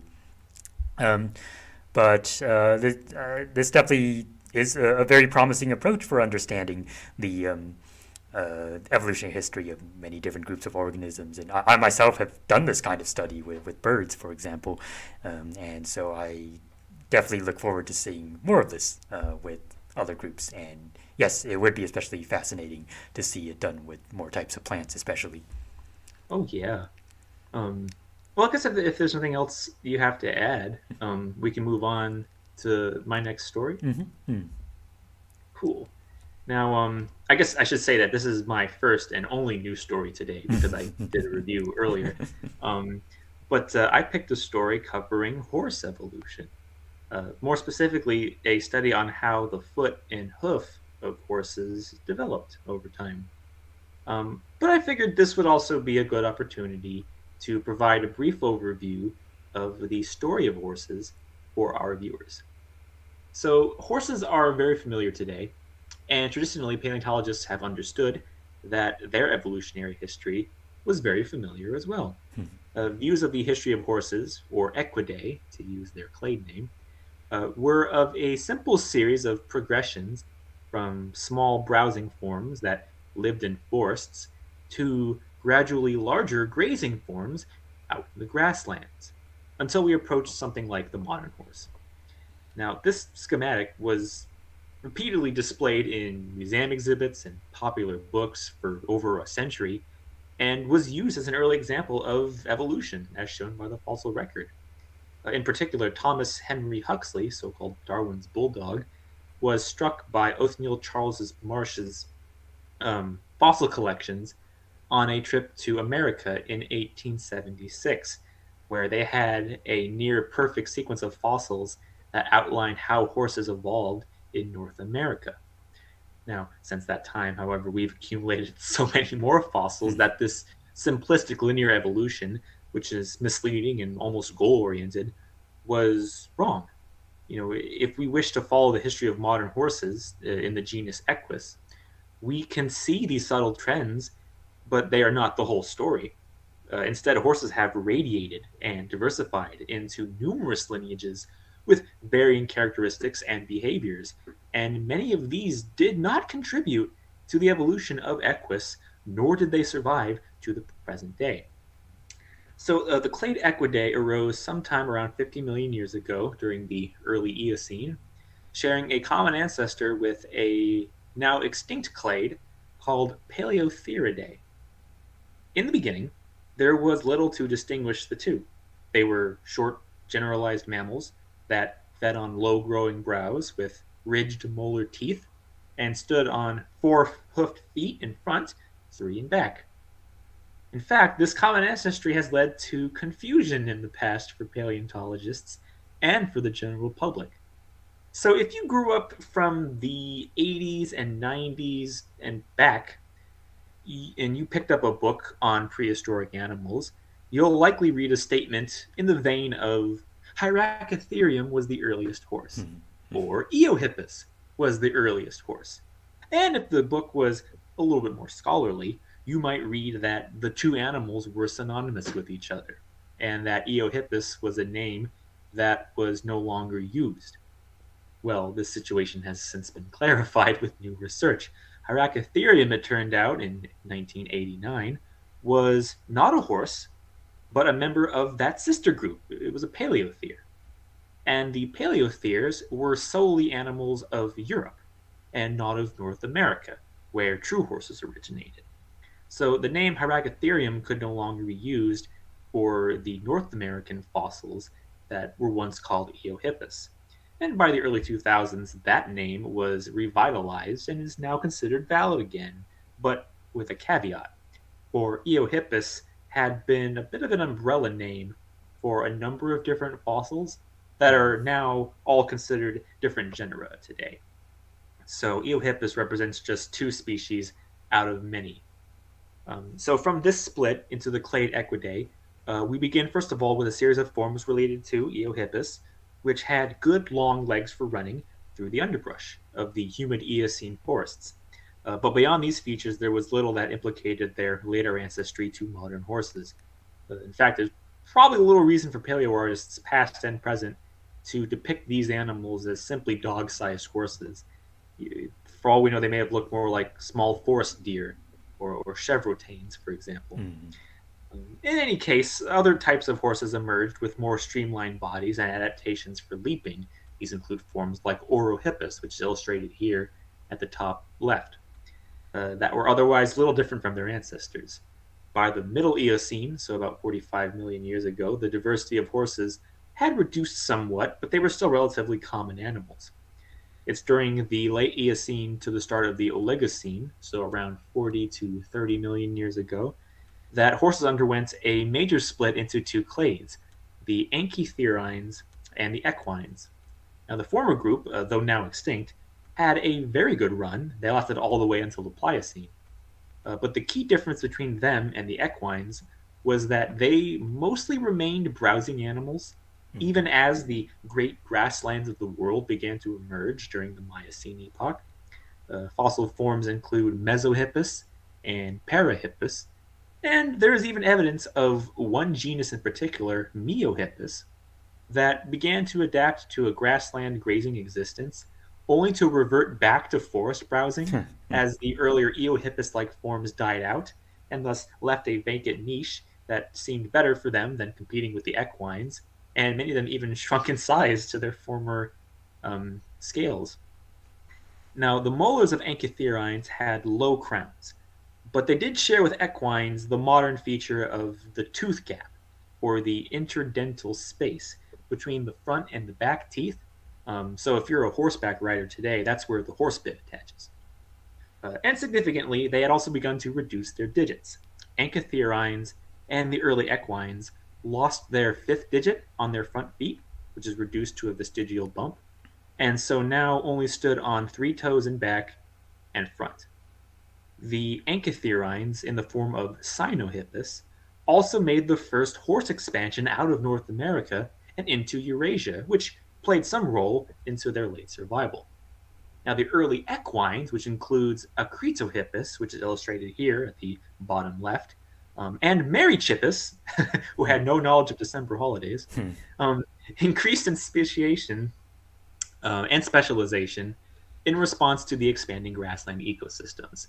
Uh, it was here where horses first evolved high crowned teeth to help deal with the gradual wearing down of enamel that happens when you eat grass all the time, as grass contains uh, silicon bits as a protective feature. Uh, to better move around in the open and perhaps more efficiently, horses also began to change the shape of their foot, with the middle toe, or digit 3, growing in size, while the remaining digits 2 and 4 reduced in length to the point where they sometimes never made contact with the ground.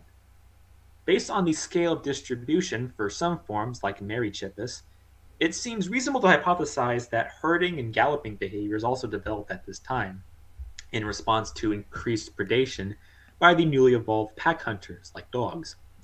And these behaviors would have certainly given the North American plains a feeling straight out of the Serengeti. Um, there's one site in Nebraska around 12 million years ago that was densely packed with horses, representing 12 different species all living in the same place. Mm, mm. Now, just as before, the equines experienced another large split uh, between 17 to 15 million years ago during the early Miocene. This was between the Hipparionines and the Equini. Now, the Hipparians, which includes Hipparion itself, um, which displays uh, an important role in my news story in a little bit, um, they had subtle differences in their skulls and teeth that set them apart from the Equini, and they also represented another instance of horse expansion out of North America and into Eurasia. In this case, they traveled very far. Uh, for a general like Hipparion, made it all the way to Africa and Europe. Uh, some forms became as small as miniature pony. Uh, Nannippus only stood about a meter tall. And this expansion also did this group good. Uh, they lasted until the early Pleistocene, meaning that early members of Homo encountered them. Now, the Equini, uh, however, would end up being the only survivors out of the entire horse dynasty, and the one that would end up having the largest global impact. Early forms of these include Pliohippus and Dinohippus, which were now much larger and standing solely on their middle toes. The two remaining digits were now significantly reduced, and in some species could no longer be seen outside the skin of the limb. Our modern genus Equus emerged around 5 million years ago during the early Pliocene, and itself diversified into many disparate forms across North America. But even at this time, it was not alone among horses. Uh, one line of equini, uh, the genus Hippidion, had migrated into South America alongside one species of equus during the Great American Biotic Interchange, and likely helped push out the native ungulates who had been there for tens of millions of years. Equus itself, of course, also broke out into Eurasia in a move that ultimately saved the genus from extinction, as by the end of the Pleistocene, Homo sapiens had spread around the world Mm. and eventually entered the Americas, where their impact killed off the last members of Equus there, who were not used to a human presence before. And so today, the genus is survived by roughly seven species, including three species of zebras, throughout the southeastern half of Africa, uh, three species of asses in northern Africa and southwest Asia into um, Central Asia, uh, and the horse proper, Equus ferus. It was this species that we domesticated around 5,000 years ago on the Central Asian steppes, uh, with the donkey, or Equus africanus, uh, being domesticated in East Africa over 7,000 years ago. And of course, uh, these equines were effectively reintroduced into North and South America in a full circle recovery of the genus, who today encompasses over 309,000 feral individuals in North America alone. Um, for comparison, the numbers of domesticated horses and asses in the entire world are 60 million and 40 million, respectively, performing functions both work and play related. Um, so this that's a rather whirlwind tour of horse evolution. Hmm. Uh, Albert, do you have anything to add or comment on before I continue? Oh, um, not much, uh, but I, am certainly familiar with the the classic model of horse evolution. It was definitely everywhere in, in uh, popular media and science communication um, growing up. Um, so yeah, a, a, real classic example of the the information about evolutionary histories we can get from the fossil record, um, and it's always interesting to see it being refined further as I'm sure we shall see. Absolutely. So let's jump to the next slide now. We'll get on to our actual story. Um, and now that you all have that in the back of your minds, um, we can turn to this paper by Alan R. Vincelette and colleagues, who were interested in horse evolution from the perspective of the foot. So technically, living horses are mesaxonic, meaning that the structure of the foot is centered on the middle digit, which supports all the weight. As I've just explained, we know from the fossil record how the other digits became reduced and lost over time in horse evolution, with digit 3 and its hoof taking priority and growing in size as the animals became more adapted for galloping in an open grassland environment. Um, digit 5, then digits 2 and 4 shrunk in size and were absorbed into the foot bones, becoming known as splints. But curiously, there has been a question in recent literature, which I had no idea this was a thing until I actually read this paper, um, that suggests that maybe this model is not entirely correct. Underneath the outer thickened keratin nail of the hoof is the frog, or the V shaped part of the hoof that touches the ground. And you can see this illustrated in the small image below, which shows the underside of the hoof from a, uh, a skeletal perspective. As understood, this shape of the frog represents a key feature seen only in the genus Equus and nowhere else in other hoofed mammals. So this is contrasted by the cloven-hoofed artiodactyls, like deer and cattle, who have their hooves formed from a fusion of two digits. But what if the supposedly monodactyl frog was also formed from a fusion of digits. And rather than being absorbed above the larger middle toe, digits 2 and 4 actually contributed to the formation of the frog itself. So this was a relatively recent proposal mm-hmm. that was first argued in a January 2018 paper by Nikos Solounias and colleagues, who examined a series of Hipparion trackways from the Laetoli site of Tanzania around 3.8 to 3.6 million years ago. And yes, this is the same Laetoli site where footprints from Australopiths had been uncovered, but they were accompanied by many other animal trackways from guinea fowl to elephants. Um, now, a bit of a technical correction. Um, I'm finally mentioning Hipparion, and this is the name used in this paper that I'm covering. Hmm. But in recent years, those particular remains in this time and place have actually been reclassified into a new but related genus called Eurygnathohippus. Um, so just to get the specifics out of the way, um, when I say Hipparion, I mean that particular genus. Um, I don't know why the authors decided to stick with Hipparion anyway, just I guess formality's sake. Hmm. Um, uh, so the 2018 team had examined the Laetoli trackways and argued that they found evidence that the hoof of Hipparion was actually formed just from a singular enlarged digit 3, but incorporated the long lost digits 1 and 5 to create a padded frog. And so, in their side analyses of horse fetuses, the team also argued that the living equus hooves were similar, with the frog being formed from digits 2 and 4 overlaid by the larger digit 3. All this is to say that then horses could no longer be considered a monodactyl ungulate, instead of having a single hoof made from several fused digits, uh, which is certainly interesting from the traditional explanation that we're so used to. So here's where Alan R. Vincelette and colleagues came in. Uh, they wanted to simply test that hypothesis by examining much of the same evidence as the earlier team to see if they could replicate their observations. And this included going back to those Laetoli prints, matching these up with other horse trackways, as well as taking measurements of these and of horse fossils for added measure. And they also looked at some of the literature documenting the development process of horse embryos in a more complete fashion to see just how they emerge from the womb with their um, anatomical development. And so, I guess, long story short, they failed to replicate the earlier results. Hmm. Um, so, regarding the embryos, the team noted that although a developing horse starts with a five toed foot and retains but the most proximal portions of these, those digits are not retained in any way that would imply they contribute to the formation of the hoof. At roughly 45 to 55 days of development, the hoof is formed, including the frog, but at no point is there any evidence of digits 2 and 4 being present. The frog, it turns out, is simply the anterior of the heel bulb of digit 3, which is a feature only seen in horses and thus considered a specialized trait of that group.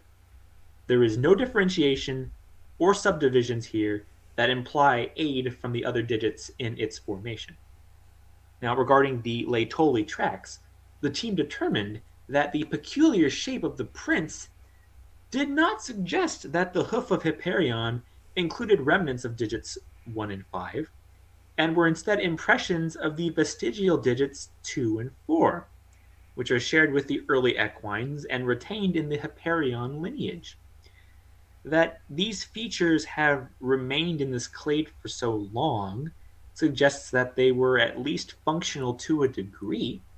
And indeed, the authors here reference biomechanical studies on tridactyl horses who have birth defects that allow them to kind of regain those lost digits.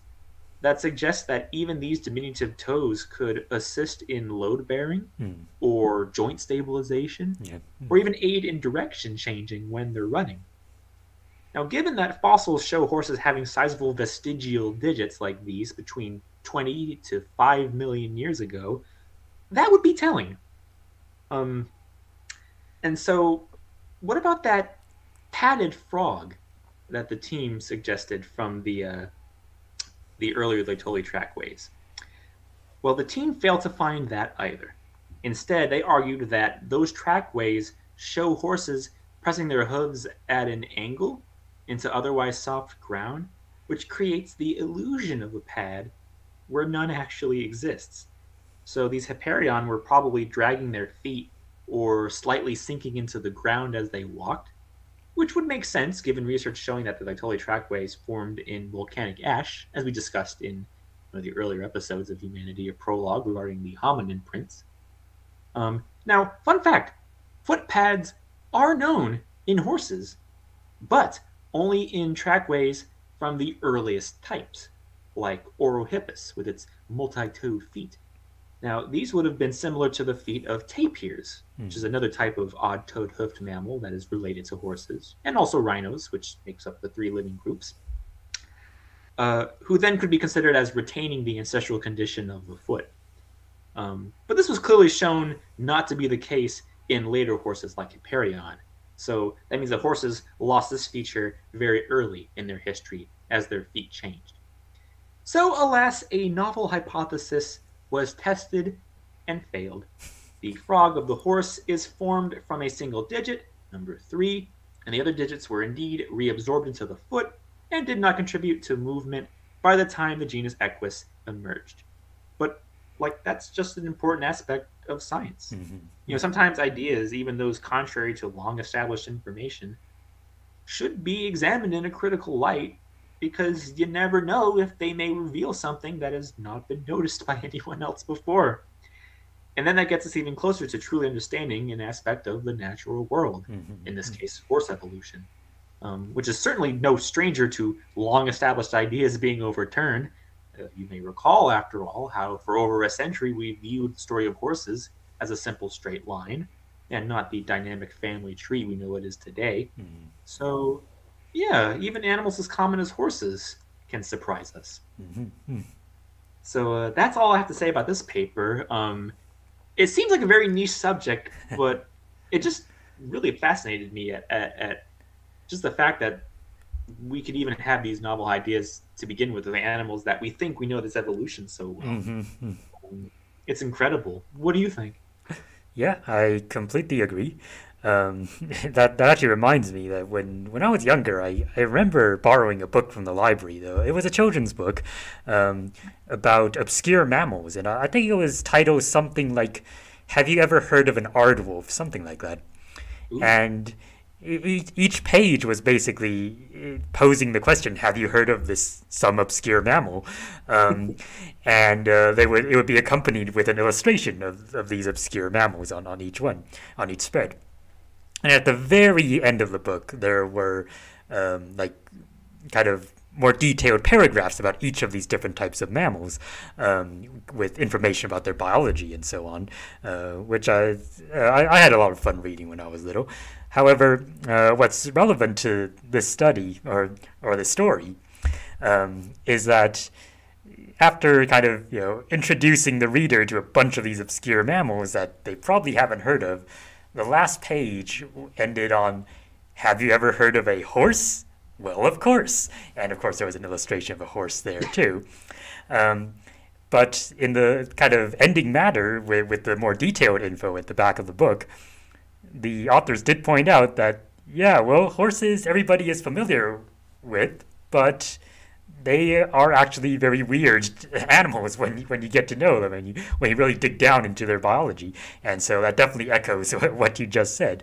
Um, and yeah, the, I I think this is a really interesting study too for very similar reasons. And um, uh, some something that um, particularly struck me was that uh, I I do I do remember hearing about the 2018 study you mentioned that proposed uh, the other digits of, of horses was act, was actually incorporated into into the hoof. Um, I I remember hearing about it, and I I was very intrigued, um, and I really wanted to hear what other researchers who studied horse evolution thought. Um, so I'm really happy to see this new study come out and actually test those ideas because, yeah, uh, I, I definitely do think it is worth re-examining long-held assumptions, um, and sometimes those assumptions turn out to be correct, uh, and sometimes they don't.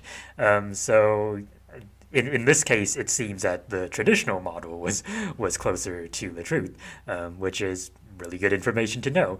And yeah, the the, the previous study um, it did it did enter my head that you know extraordinary claims require extraordinary evidence, and so I, I'm very glad that another team of authors has come and kind of re-examined those same lines of evidence to uh, see whether or not um this hypothesis could be upheld.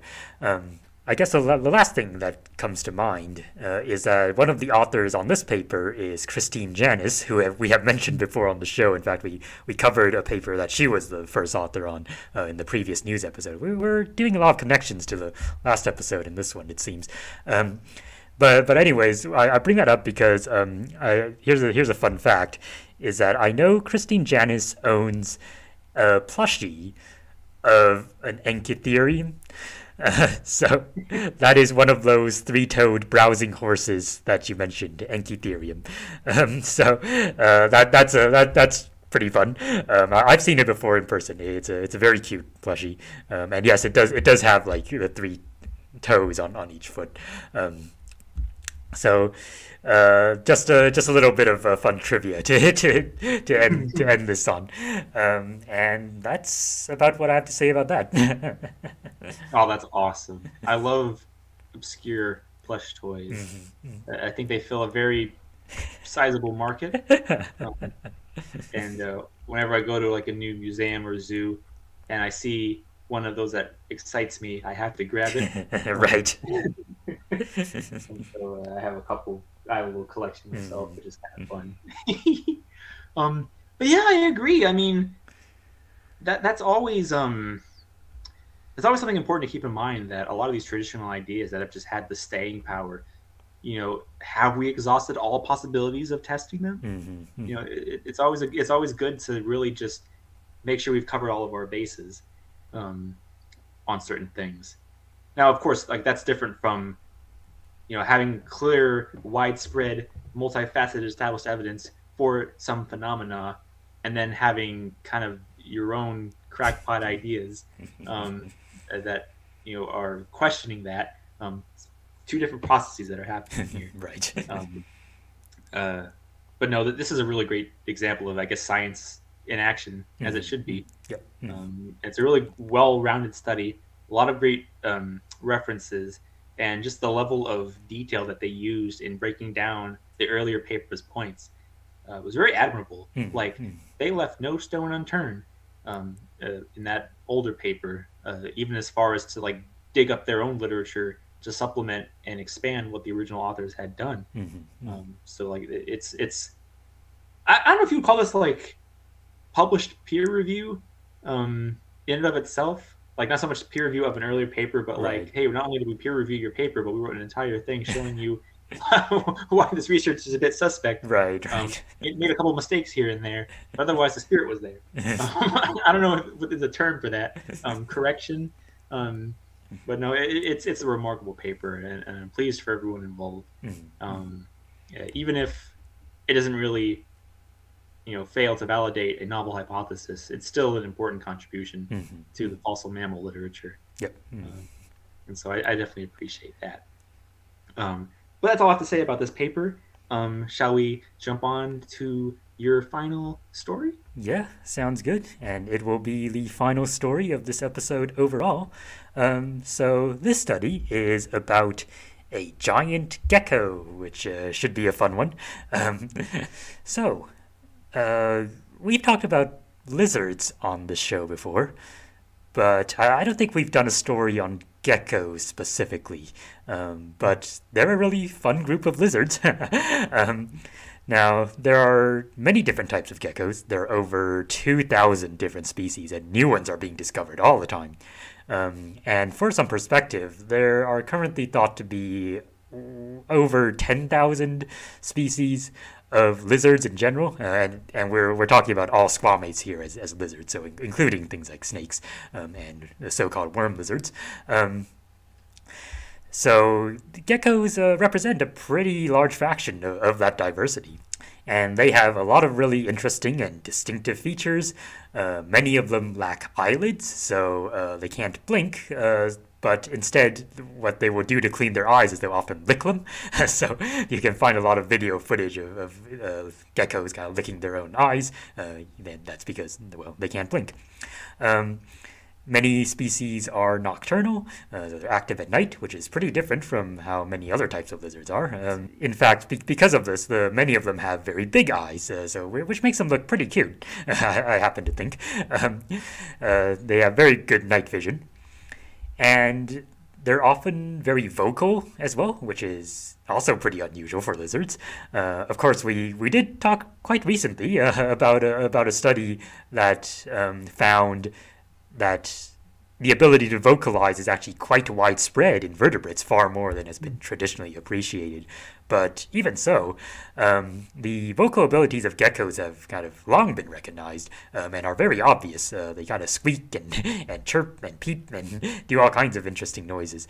Um, so, in, in fact, um, when I visit my family in Taiwan, uh, sometimes we do have geckos wandering into our, our living spaces, into our like apartment buildings, uh, and sometimes at night you you'll be able to hear them kind of squeaking away on, on the walls and such.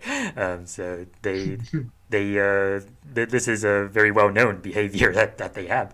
Um, something uh, that uh, geckos are very well known for is that most of them uh, have these pads on the feet that help them uh, climb. And in fact, they are very good at climbing. They can climb straight up vertical surfaces. Um, and these uh, these pads are quite interesting. Um, if you think about uh, how to stick to a surface, uh, of course, one of the most intuitive ways of doing that would be to maybe secrete a sticky substance and then uh, be able to stick there, or uh, you know, secrete some kind of fluid to help you do that.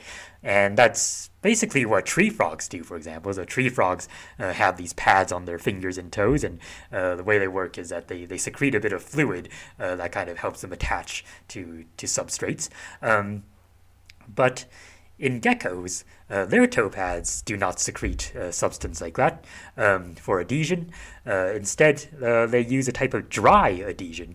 And the way that it actually works has um, been the subject of a lot of study over the years uh, because people are very interested in finding out how can we make adhesives that are similar to geckos.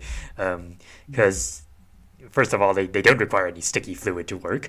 Um, and furthermore, uh, gecko toe pads are actually self-cleaning. Uh, so if you can have like a self-cleaning sticky thing that doesn't leave behind a sticky residue, I'm sure you can find all kinds of interesting uses for that. And so people are very interested in figuring out exactly what causes geckos to stick. Um, and it turns out that a lot of the traditional ideas for how this works is actually incorrect. Uh, the, one of the traditional ideas um, for what causes the stickiness of, of gecko toe pads is that they primarily work using a type of uh, force called uh, van der Waals uh, attraction forces. Um, and if you if you look at like you know uh, popular books and such, uh, many of them will will mention this. Uh, however, in more recent studies, studies seem to suggest that this is incorrect. That primarily the main force that helps geckos um, use their toe pads to attach to things is that is um, electrostatic forces. So it's a form like static electricity kind of attracting their toes uh, to surfaces. Mm. Now, I, am not enough of a, I know, uh, a physicist to, to explain to you in detail how, how this actually works. Uh, but it is a quite a, quite a remarkable adaptation. Um, and the structure of these toe pads, what they consist of, is on, on the underside of each of these toe pads, there are a lot of tiny little bristles that cover cover the, the toe pad. Um, and so uh, again, yeah, it's not it's not a type of um, uh, fluid secretion or, or, suction kind of thing. Uh, it's a, the the the force of a bunch of uh, tiny bristles kind of working together uh, to hold up um, a, a, gecko on a wall. And even though they have pretty strong sticking power, uh, these toe pads are very easy to peel off because uh, geckos can kind of flex their toes, um, uh, you know, in a quote unquote double jointed way. So they can kind of peel their own toe pads away from the surface uh, and kind of only peel away one of those bristles at a time. Um, uh, one by one, and so they don't have to overcome like the entire force of the of the adhesion um, all at once, and so it's very convenient type of thing. Um, some geckos actually not only have these uh, adhesive bristles uh, on their toe pads, but also on the underside of their tail as well. Uh, so basically, yeah, geckos were made to stick to things. Um, and geckos uh, are not only very diverse in terms of the number of species, but also in terms of the number of different lifestyles and adaptations that they that they have kind of branched out into. Uh, so there is one group of geckos in uh, Australasia uh, that don't have any legs. Funnily enough, because we were just talking about how they have these these weird toe pad things. Yep, these guys don't have legs. so they're they're a group of uh, burrowing geckos called the pygopodids. So they, they do have like some remnants of the hind limbs, but you know, no forelimbs, uh, and so fun- functionally they basically don't have any legs. Um, but they, they burrow around in substrate, uh, feeding on various invertebrates and also on other types of lizards. Um, there are types of geckos that are that can glide from tree to tree. Um, there are types of geckos that shoot fluid from their tails, which is a really weird adaptation. Uh, so they have these little glands like along the top of the tail, uh, and when they are threatened, they will actually like shoot this sticky fluid at their predator. And now the fluid is not toxic; it's not poisonous, uh, but apparently it's not. It doesn't taste very good. So so apparently that puts off predators. Um, there are geckos that escape from predators by peeling off their own skin, which is pretty wild. Yeah, so there, there are these geckos called uh, like fish scale geckos, um, and the scales on these geckos are, are, very big and flat. Like they look a lot like fish scales. That's how they get their name, um, and they come off really easily. So you grab onto one of them, they can just kind of squirm free and leave you with a handful of scales, um, and then they, they run away kind of pink and naked. Um, uh, so pretty pretty wild adaptations in this group of lizards. And so the species that this new study we're going to talk about today um, is the largest gecko known to have existed. Uh, and it's called Delcourt's giant gecko. Now, uh, this is a very mysterious type of gecko because it is only known from a single specimen uh, that's been preserved, and it's currently held in a museum in France. However, there is basically no information about where it came from or who collected it or when it was collected. Um, based on the way this specimen is preserved, it has been inferred that it has probably been in the museum since at least the 1830s. Um, so quite a long time ago. But beyond that, yeah, we don't know much about the circumstances of how it was collected and where it was collected. Now, how big is, is it exactly? Well, in terms of total length, it's somewhere around 60 centimeters long, so that's about two feet long. Um, and so in the figure on top over here, uh, the this giant gecko is the one on the right, uh, and the gecko on the left is the largest um, living species of gecko, uh, which is the New Caledonian giant gecko. Now, I say living here uh, because uh, Delcourt's giant gecko is thought to probably be extinct, or at least no one has come across a living one, so it's assumed that it, it is extinct. Um, so, what can we tell about uh, what this giant lizard was all about, anyways? Well, um, when this specimen was first described, um, it was suggested that uh, it was probably a member of the New Zealand genus of geckos uh, called Hoplodactylus. Uh, this was based on its anatomical similarities to that genus. And furthermore, uh, it was also reported somewhat later uh, that it matches descriptions of this large lizard from Maori oral tradition, uh, which the this uh, this lizard, this legendary lizard, was called the Kawekaweau. Um, in terms of its size and its coloration, it does seem to match this large lizard very well. Uh, however, no fossils of Delcourt's giant gecko have ever been found on New Zealand, even though we have a pretty decent recent fossil record of New Zealand vertebrates. Hmm. So yeah, that, that that's a that leaves us with a bit of a mystery. Um, so kind of these indirect lines of evidence seem to suggest that Delcourt's giant gecko used to live on New Zealand, um, but we have no remains of it from from that region. It, has also been suggested that it may have come from New Caledonia instead, um, based on similarities to the geckos there. And it's very hard to rule out this possibility, but there was just like no definitive evidence to say either way. And so uh, this new study uh, managed to extract DNA from this only known specimen of Delcourt's giant gecko. And so from there, uh, they were able to perform a study trying to figure out what type of gecko it was, and maybe uh, that will tell us something about its actual origin. So, what did they find? Um, so, the authors of the, this new paper ran a phylogenetic analysis, including uh, Delcourt's giant gecko, uh, as well as a wide range of geckos that seem to be closely related, including both New Zealand species and New Caledonian species. And what they found was that the results of their phylogenetic analysis uh, pretty squarely place Delcourt's giant gecko within a clade of New Caledonian species and not the New mm-hmm. Zealand species. So you can see their phylogeny on the right over here.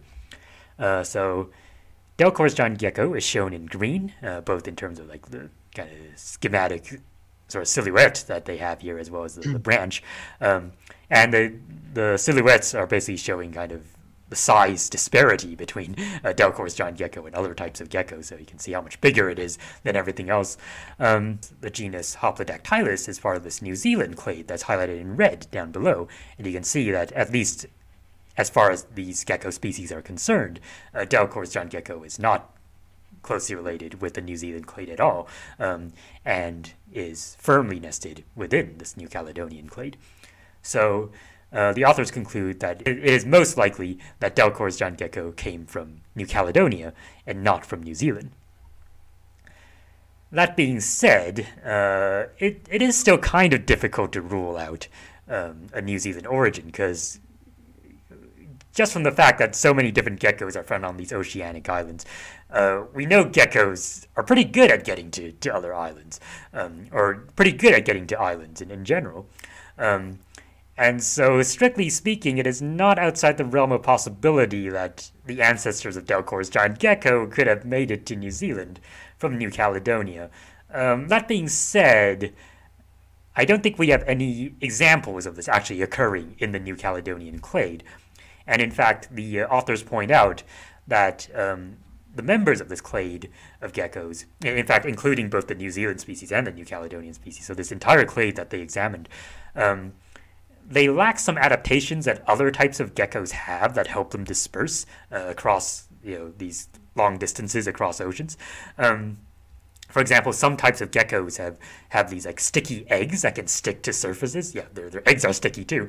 Um, and, and so in many cases, probably these gecko eggs can be attached to, say, the inside of a tree hollow or inside a log or something, and just gets washed out to sea. And uh, if they're lucky and don't get uh, drowned um, by water, they might make it to an island. And if they hatch, well, you have a new population of geckos on, on that island. Uh, but like the clade of geckos that the Delcourt's giant gecko belongs to um, does not have the, these sticky eggs. Um, so it is unlikely that this would be a method uh, of dispersal for them. Uh, so, all things considered, uh, while this does not demonstrate without a doubt that it did not live on New Zealand, it does strongly support um, a New Caledonian origin instead. Now, since Delcourt's giant gecko is not in fact closely related to uh, the New Zealand clade of geckos, uh, well, it can't be classified in the genus Hoplodactylus with them. Um, meanwhile, in terms of its relationship to the New Caledonian geckos, it turns out that based on their analyses at least, Delcourt's giant gecko is not like clearly nested within any of the established living genera of um, New Caledonian geckos. Uh, now, for the record, if you're wondering, uh, some of the closest relatives to Delcourt's giant gecko recovered by the study um, include the genera Mniarogekko, Eurydactylodes, um, and Rhacodactylus. Um, now, Rhacodactylus is the genus that includes the New Caledonian giant gecko, the largest living species that's pictured on this slide. Um, so it seems like the Delcourt's giant gecko is in pretty good company when it comes to being big. Uh, the, one, one of its closest relatives is among the biggest geckos as well. Um, that being said, uh, the members of Eurydactylodes um, those guys are a bit, quite a bit smaller. So there, there's a pretty wide range of sizes in, in this group of geckos. Um, and for the record, um, includes some of those kind of um, some of those geckos I mentioned earlier uh, that can shoot fluid from from their tails at predators. so that's pretty cool. Um, this adaptation appears to have actually evolved multiple times in different geckos. So there, there's also like an Australian clade that does it, for example. Um, so very weird adaptation, especially to have arisen more than once. Um, but in any case, yeah, uh, um, Delcourt's giant gecko is part of this pretty uh, remarkable group. Um, now, since it is not um, uh, clearly nested within any of these established genera, uh, the authors decide to name a new genus for Delcourt's giant gecko uh, because it, it's not Hoplodactylus, right? Um, so the new genus that they picked for it is Gigarcanum, meaning giant mystery, which I think is a pretty great name for this very mysterious and large gecko.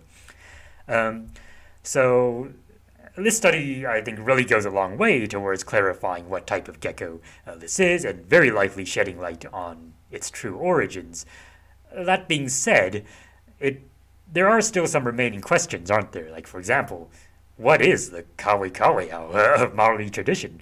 Um, we do know from the fossil record that there appear to have been large species of Hoplodactylus that lived until recently uh, in New Zealand. So maybe it's actually referring to one of those? Who knows? Um, but it is kind of odd that in terms of size and coloration, Delcourt's giant gecko, uh, now Gigarcanum, matches so well with, with those those uh, descriptions. Um, so who knows? like uh, may, maybe some interesting convergent evolution going on, or you know, who knows? Maybe maybe maybe it did come from New Zealand, as mentioned earlier. Um, but uh, hopefully, at some point, we manage to find um, more specimens to kind of tease this out. But uh, knowing that it more likely comes from New Caledonia, at least, gives us a place to look. Uh, speaking of which, I mentioned earlier that uh, Delcourt's giant gecko is presumed extinct because no one has been able to find a living one. But of course, we didn't know where to look, right? Um, so, is there a possibility that it could still be alive? Well, I guess that's an interesting question, isn't it? It would seem that a gecko this big you would expect it to be pretty hard to miss if it was still around. Um, that being said, some of the authors of the paper in interviews have mentioned that you know they, they still hold out hope of a slim possibility that this thing might still be around in New Caledonia and new species of geckos are described from New Cal- Caledonia still so uh, obviously it has not been um, explored so exhaustively that we found every gecko there is to find there. Um, so if this thing is always hiding up in the treetops or something, then technically, in theory, maybe it's still out there. Um, certainly, um, you know, compared to some other cases, I, I would say that there is a higher chance of this thing still existing um, than, than some other species people claim are still around. Um, uh, but uh, I, I am personally not holding my breath. Um, still, uh, it is really fantastic that we have gotten so much new insight from the study on this giant mystery. what do you think? well, um, I guess my initial questions would be if there's a chance that this gecko is still around. Well, my question is like how how dense is the human population in New Caledonia? Like, if there's enough people living on that island, and I know there have been people there for at least you know 3,500 years. Mm-hmm. Um, chances are they probably would have seen one right at some point. not necessarily like seen one to like alert herpetologists, but I mean that would be my first question. Mm-hmm. Um, some of this rather like the Tasmania thing with the thylacine, right? right? It's like, I mean, yeah, a lot of Tasmania is like you know mountainous and glaciery, but there's still a sizable amount of people on there that mm-hmm. will probably notice if one of these things was still running around. I mean, considering a gecko that's seemingly larger than a house cat, um, you know, that, that, would be hard to miss, I would think. Um, but yeah, I mean, then again, stranger things have happened. Um, yeah, I mean, it's it's kind of a funny paper for me um, because it does seem kind of like one of those um, kind of fun, unexpected mysteries, isn't it? Mm-hmm. Like we don't know where this lizard came from. Let's do some DNA and plug it in with all the other geckos that we can find, and then see maybe if we can get a clue where it is, and mm-hmm. to see them kind of recover it with this new Caledonian clade. Um, it's exciting. I give him props. Um, I would not be surprised if that specimen turned out to be the only one that like dispersed from New Caledonia to New Zealand, and it just, just happened to be the one that scientists found. mm. That would be kind of hilarious, wouldn't it? Yeah. Um, uh, but uh, I mean, it certainly would be nice. I mean, that would be one part of our fauna that has still clung on after all this time. Mm-hmm. Um, because yeah, so like there, there are no there are no fossils of this animal are there Nope. anywhere? nope. It- like all we have is just this, I guess, rather crudely stuffed specimen. yep. um, that's been around for a wow. That's remarkable. I will say I love the um, I love the diagram here. How they have the um, the geologic time synced in with the I guess what is that the lengths of each of these. Oh yeah, that's right. The body sizes. Yep. that's really clever. hmm Um, I really like that. that. That's a good approach. Um, it's funny that you picked this paper to talk about, considering that, like, as of the time of recording, I just started reading uh, another classic book, uh, Tim Flannery's *The Future Eaters*. Oh yeah. And wouldn't you know it, he goes into quite a bit about New Caledonia and New Zealand and its wildlife. Um, it, really gives me, it certainly has given me some perspective as I've been listening to you talk about these different animals here.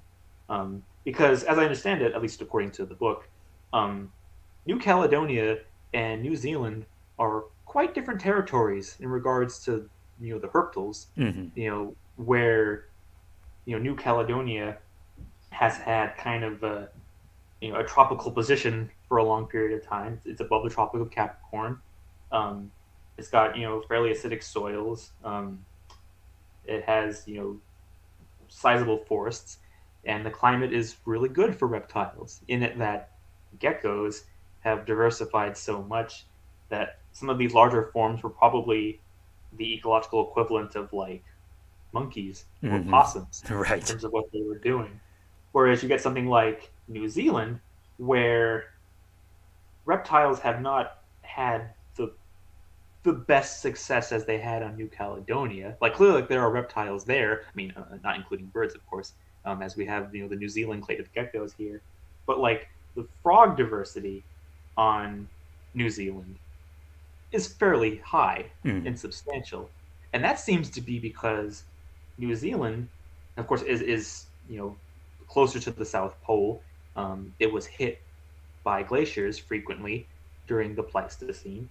Um, so even though it is larger and more biologically productive in certain respects, I guess it's it's one of those environments that reptiles, you know, haven't really had the fortune of expansion like they have with New Caledonia hmm obviously like the reptilian birds that's a, that's another story yeah. altogether, but, like, regarding like the lizards and things Right. um 'cause of course uh, new caledonia was also home to the the giant horned turtles the the, the meiolaniids and um the the the mekosuchine crocodilians hmm or crocodilomorphs.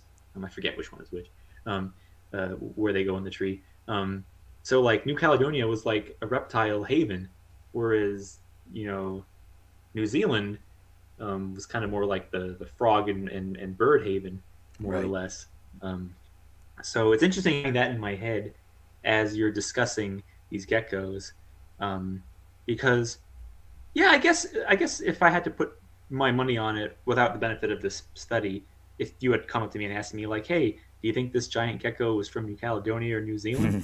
um, I would probably have put my bets on New Caledonia, hmm just in terms of like the specializations that have been recorded on that island for what geckos were doing. Um, so it, it's a really remarkable animal. Um, gosh, I sure hope that we would find more specimens. Mhm. Um, I mean, it's got to be an absolutely brilliant stroke of luck that they were able to get DNA from this in the first Yeah. place. hmm Um, so okay, so you said that this was from a preserved specimen um, at a museum. Yeah. Uh, was this like was it? Because I'm looking at the the figure here. Is is that a stuffed specimen, or was Yeah. that in like a jar? I, yeah, it has been stuffed. Like the the insides ha- have been removed and such. Yeah, and I know uh, stuffing non-avian reptiles is kind of a uh, an interesting um, process. Yeah. Uh, but uh, yeah, so like I mean, I I would imagine like the storage where it was was pretty decent Mm. um, for it to have kind of kept its genetic information like that after all this time without having to succumb to extreme heat or cold, Right. if you know what I mean. Yep. Um, so that's really good. Um, and now we have that data, and uh, yeah, it would be nice to kind of know more of what this animal was doing, because you know, maybe it was acting like some of these other giant geckos, or maybe doing something completely different. hmm Um, again, with New Caledonia, um, it's kind of hard to tell. Yeah, exactly. Could have been doing something completely different from all the others. Um, yeah. No, this is great. This is a really great paper. Um, and I'm pleased to see that even if it's still a bit of a mystery, like at least some of it has been uncovered. hmm I think that's still a win in my book. Absolutely. So yay, welcome to the world, uh, Gigarcanum. It's kind of fun. I could picture the, the uh, Giga from Doraemon. You Draw him as one of these little ge- uh, him as one of these geckos. oh my goodness. That's hilarious. yeah. Um, but uh, that's all I have to comment on this. Um, if there's anything else you wanted to add, um, we can close out to our ending matter. Sounds good. Yeah, so uh, those were our news stories. We want to thank you all again for joining us. Um, of course, we are on Patreon. If you are interested in supporting us, um, we are patreon.com forward slash time and clades. We accept any and all monetary donations as well as our tier system. Um, and your contributions would help us continue this series and develop new projects and expansions. Um, of course, we are very fortunate to have a couple of patrons already, and uh, they are at a tier where they are owed shout outs. So we want to give a big hug and thanks to Paul, Denver, Frankish, and Valdenunzio for their um, support. We really appreciate it. And uh, moving on to our other acknowledgments, of course, we want to thank our good friends Henry and Alicia for their contributions to this series. Henry is responsible for the wonderful music that opens each episode, and Alicia is responsible for the color scheme of Albert's Alvarezsaur avatar, which is always a, cheerful fellow. Um, and of course, moving on, um, we are on Twitter, even though Twitter seems to be struggling right now with that identity crisis. Um, Yep. Good God, I, I, I was at, I was in Florida when the the latest Elon update hit, and then subsequently went away. So, um, uh, at the very least, uh, we will stay with the ship until it fully sinks and decomposes at the bottom of the ocean floor. So, if you want to, to fo- follow us, uh, we are at Time and Clades, um, where we usually just post episodes um, that we've uploaded on our YouTube page, which is where you're probably watching us right now. So, we are through Time and Clades. Um, if you want to give a like and subscribe, we certainly would appreciate it if you want to. Um, now, if you have any questions for us about the topics and papers and books we talked about today, um, or just any question in general, um, there are three ways you can contact us. You can leave us a YouTube comment, you can send an email to us, timeandclades at gmail.com, or you can tweet at us. Um, but right now, it seems like YouTube seems to be our main source of questions and comments, so we always appreciate everything that we get. Um, now, if you want to read the papers that we've talked about, or check out links to buy the books, or watch the shows, or check out the Tarpon Springs Aquarium, um, all those references are below in the description, or you can check them out, um, and we will list them all accordingly. And uh, with that, that is it for our show. Um, in terms of what's coming up next, well, um, you can almost certainly be guaranteed uh, more news episodes. Um, whether that will cover just July or the next couple of, of months, I guess will depend on what we have going on. Mhm. Um, but one thing that I know you all can count on is that we are approaching that time of the year where the next update special for my series Humanity a Prologue is usually due to come out. Uh, I've tried to time it with the uh, premiere of the original series. Mhm. Um, and so I I have been hard at work looking at all kinds of papers to include, and there is certainly quite a lot um, that I would like to cover. Um, so it's going to be a very interesting episode. Um, I have some formatting ideas I want to try, and uh, I hope it'll uh, have a good reception. Um, but we know that uh, you'll be joining us for when that happens, and so we look forward to seeing you then. Um, but until next time, thank you all for joining us, and we hope you have an awesome day.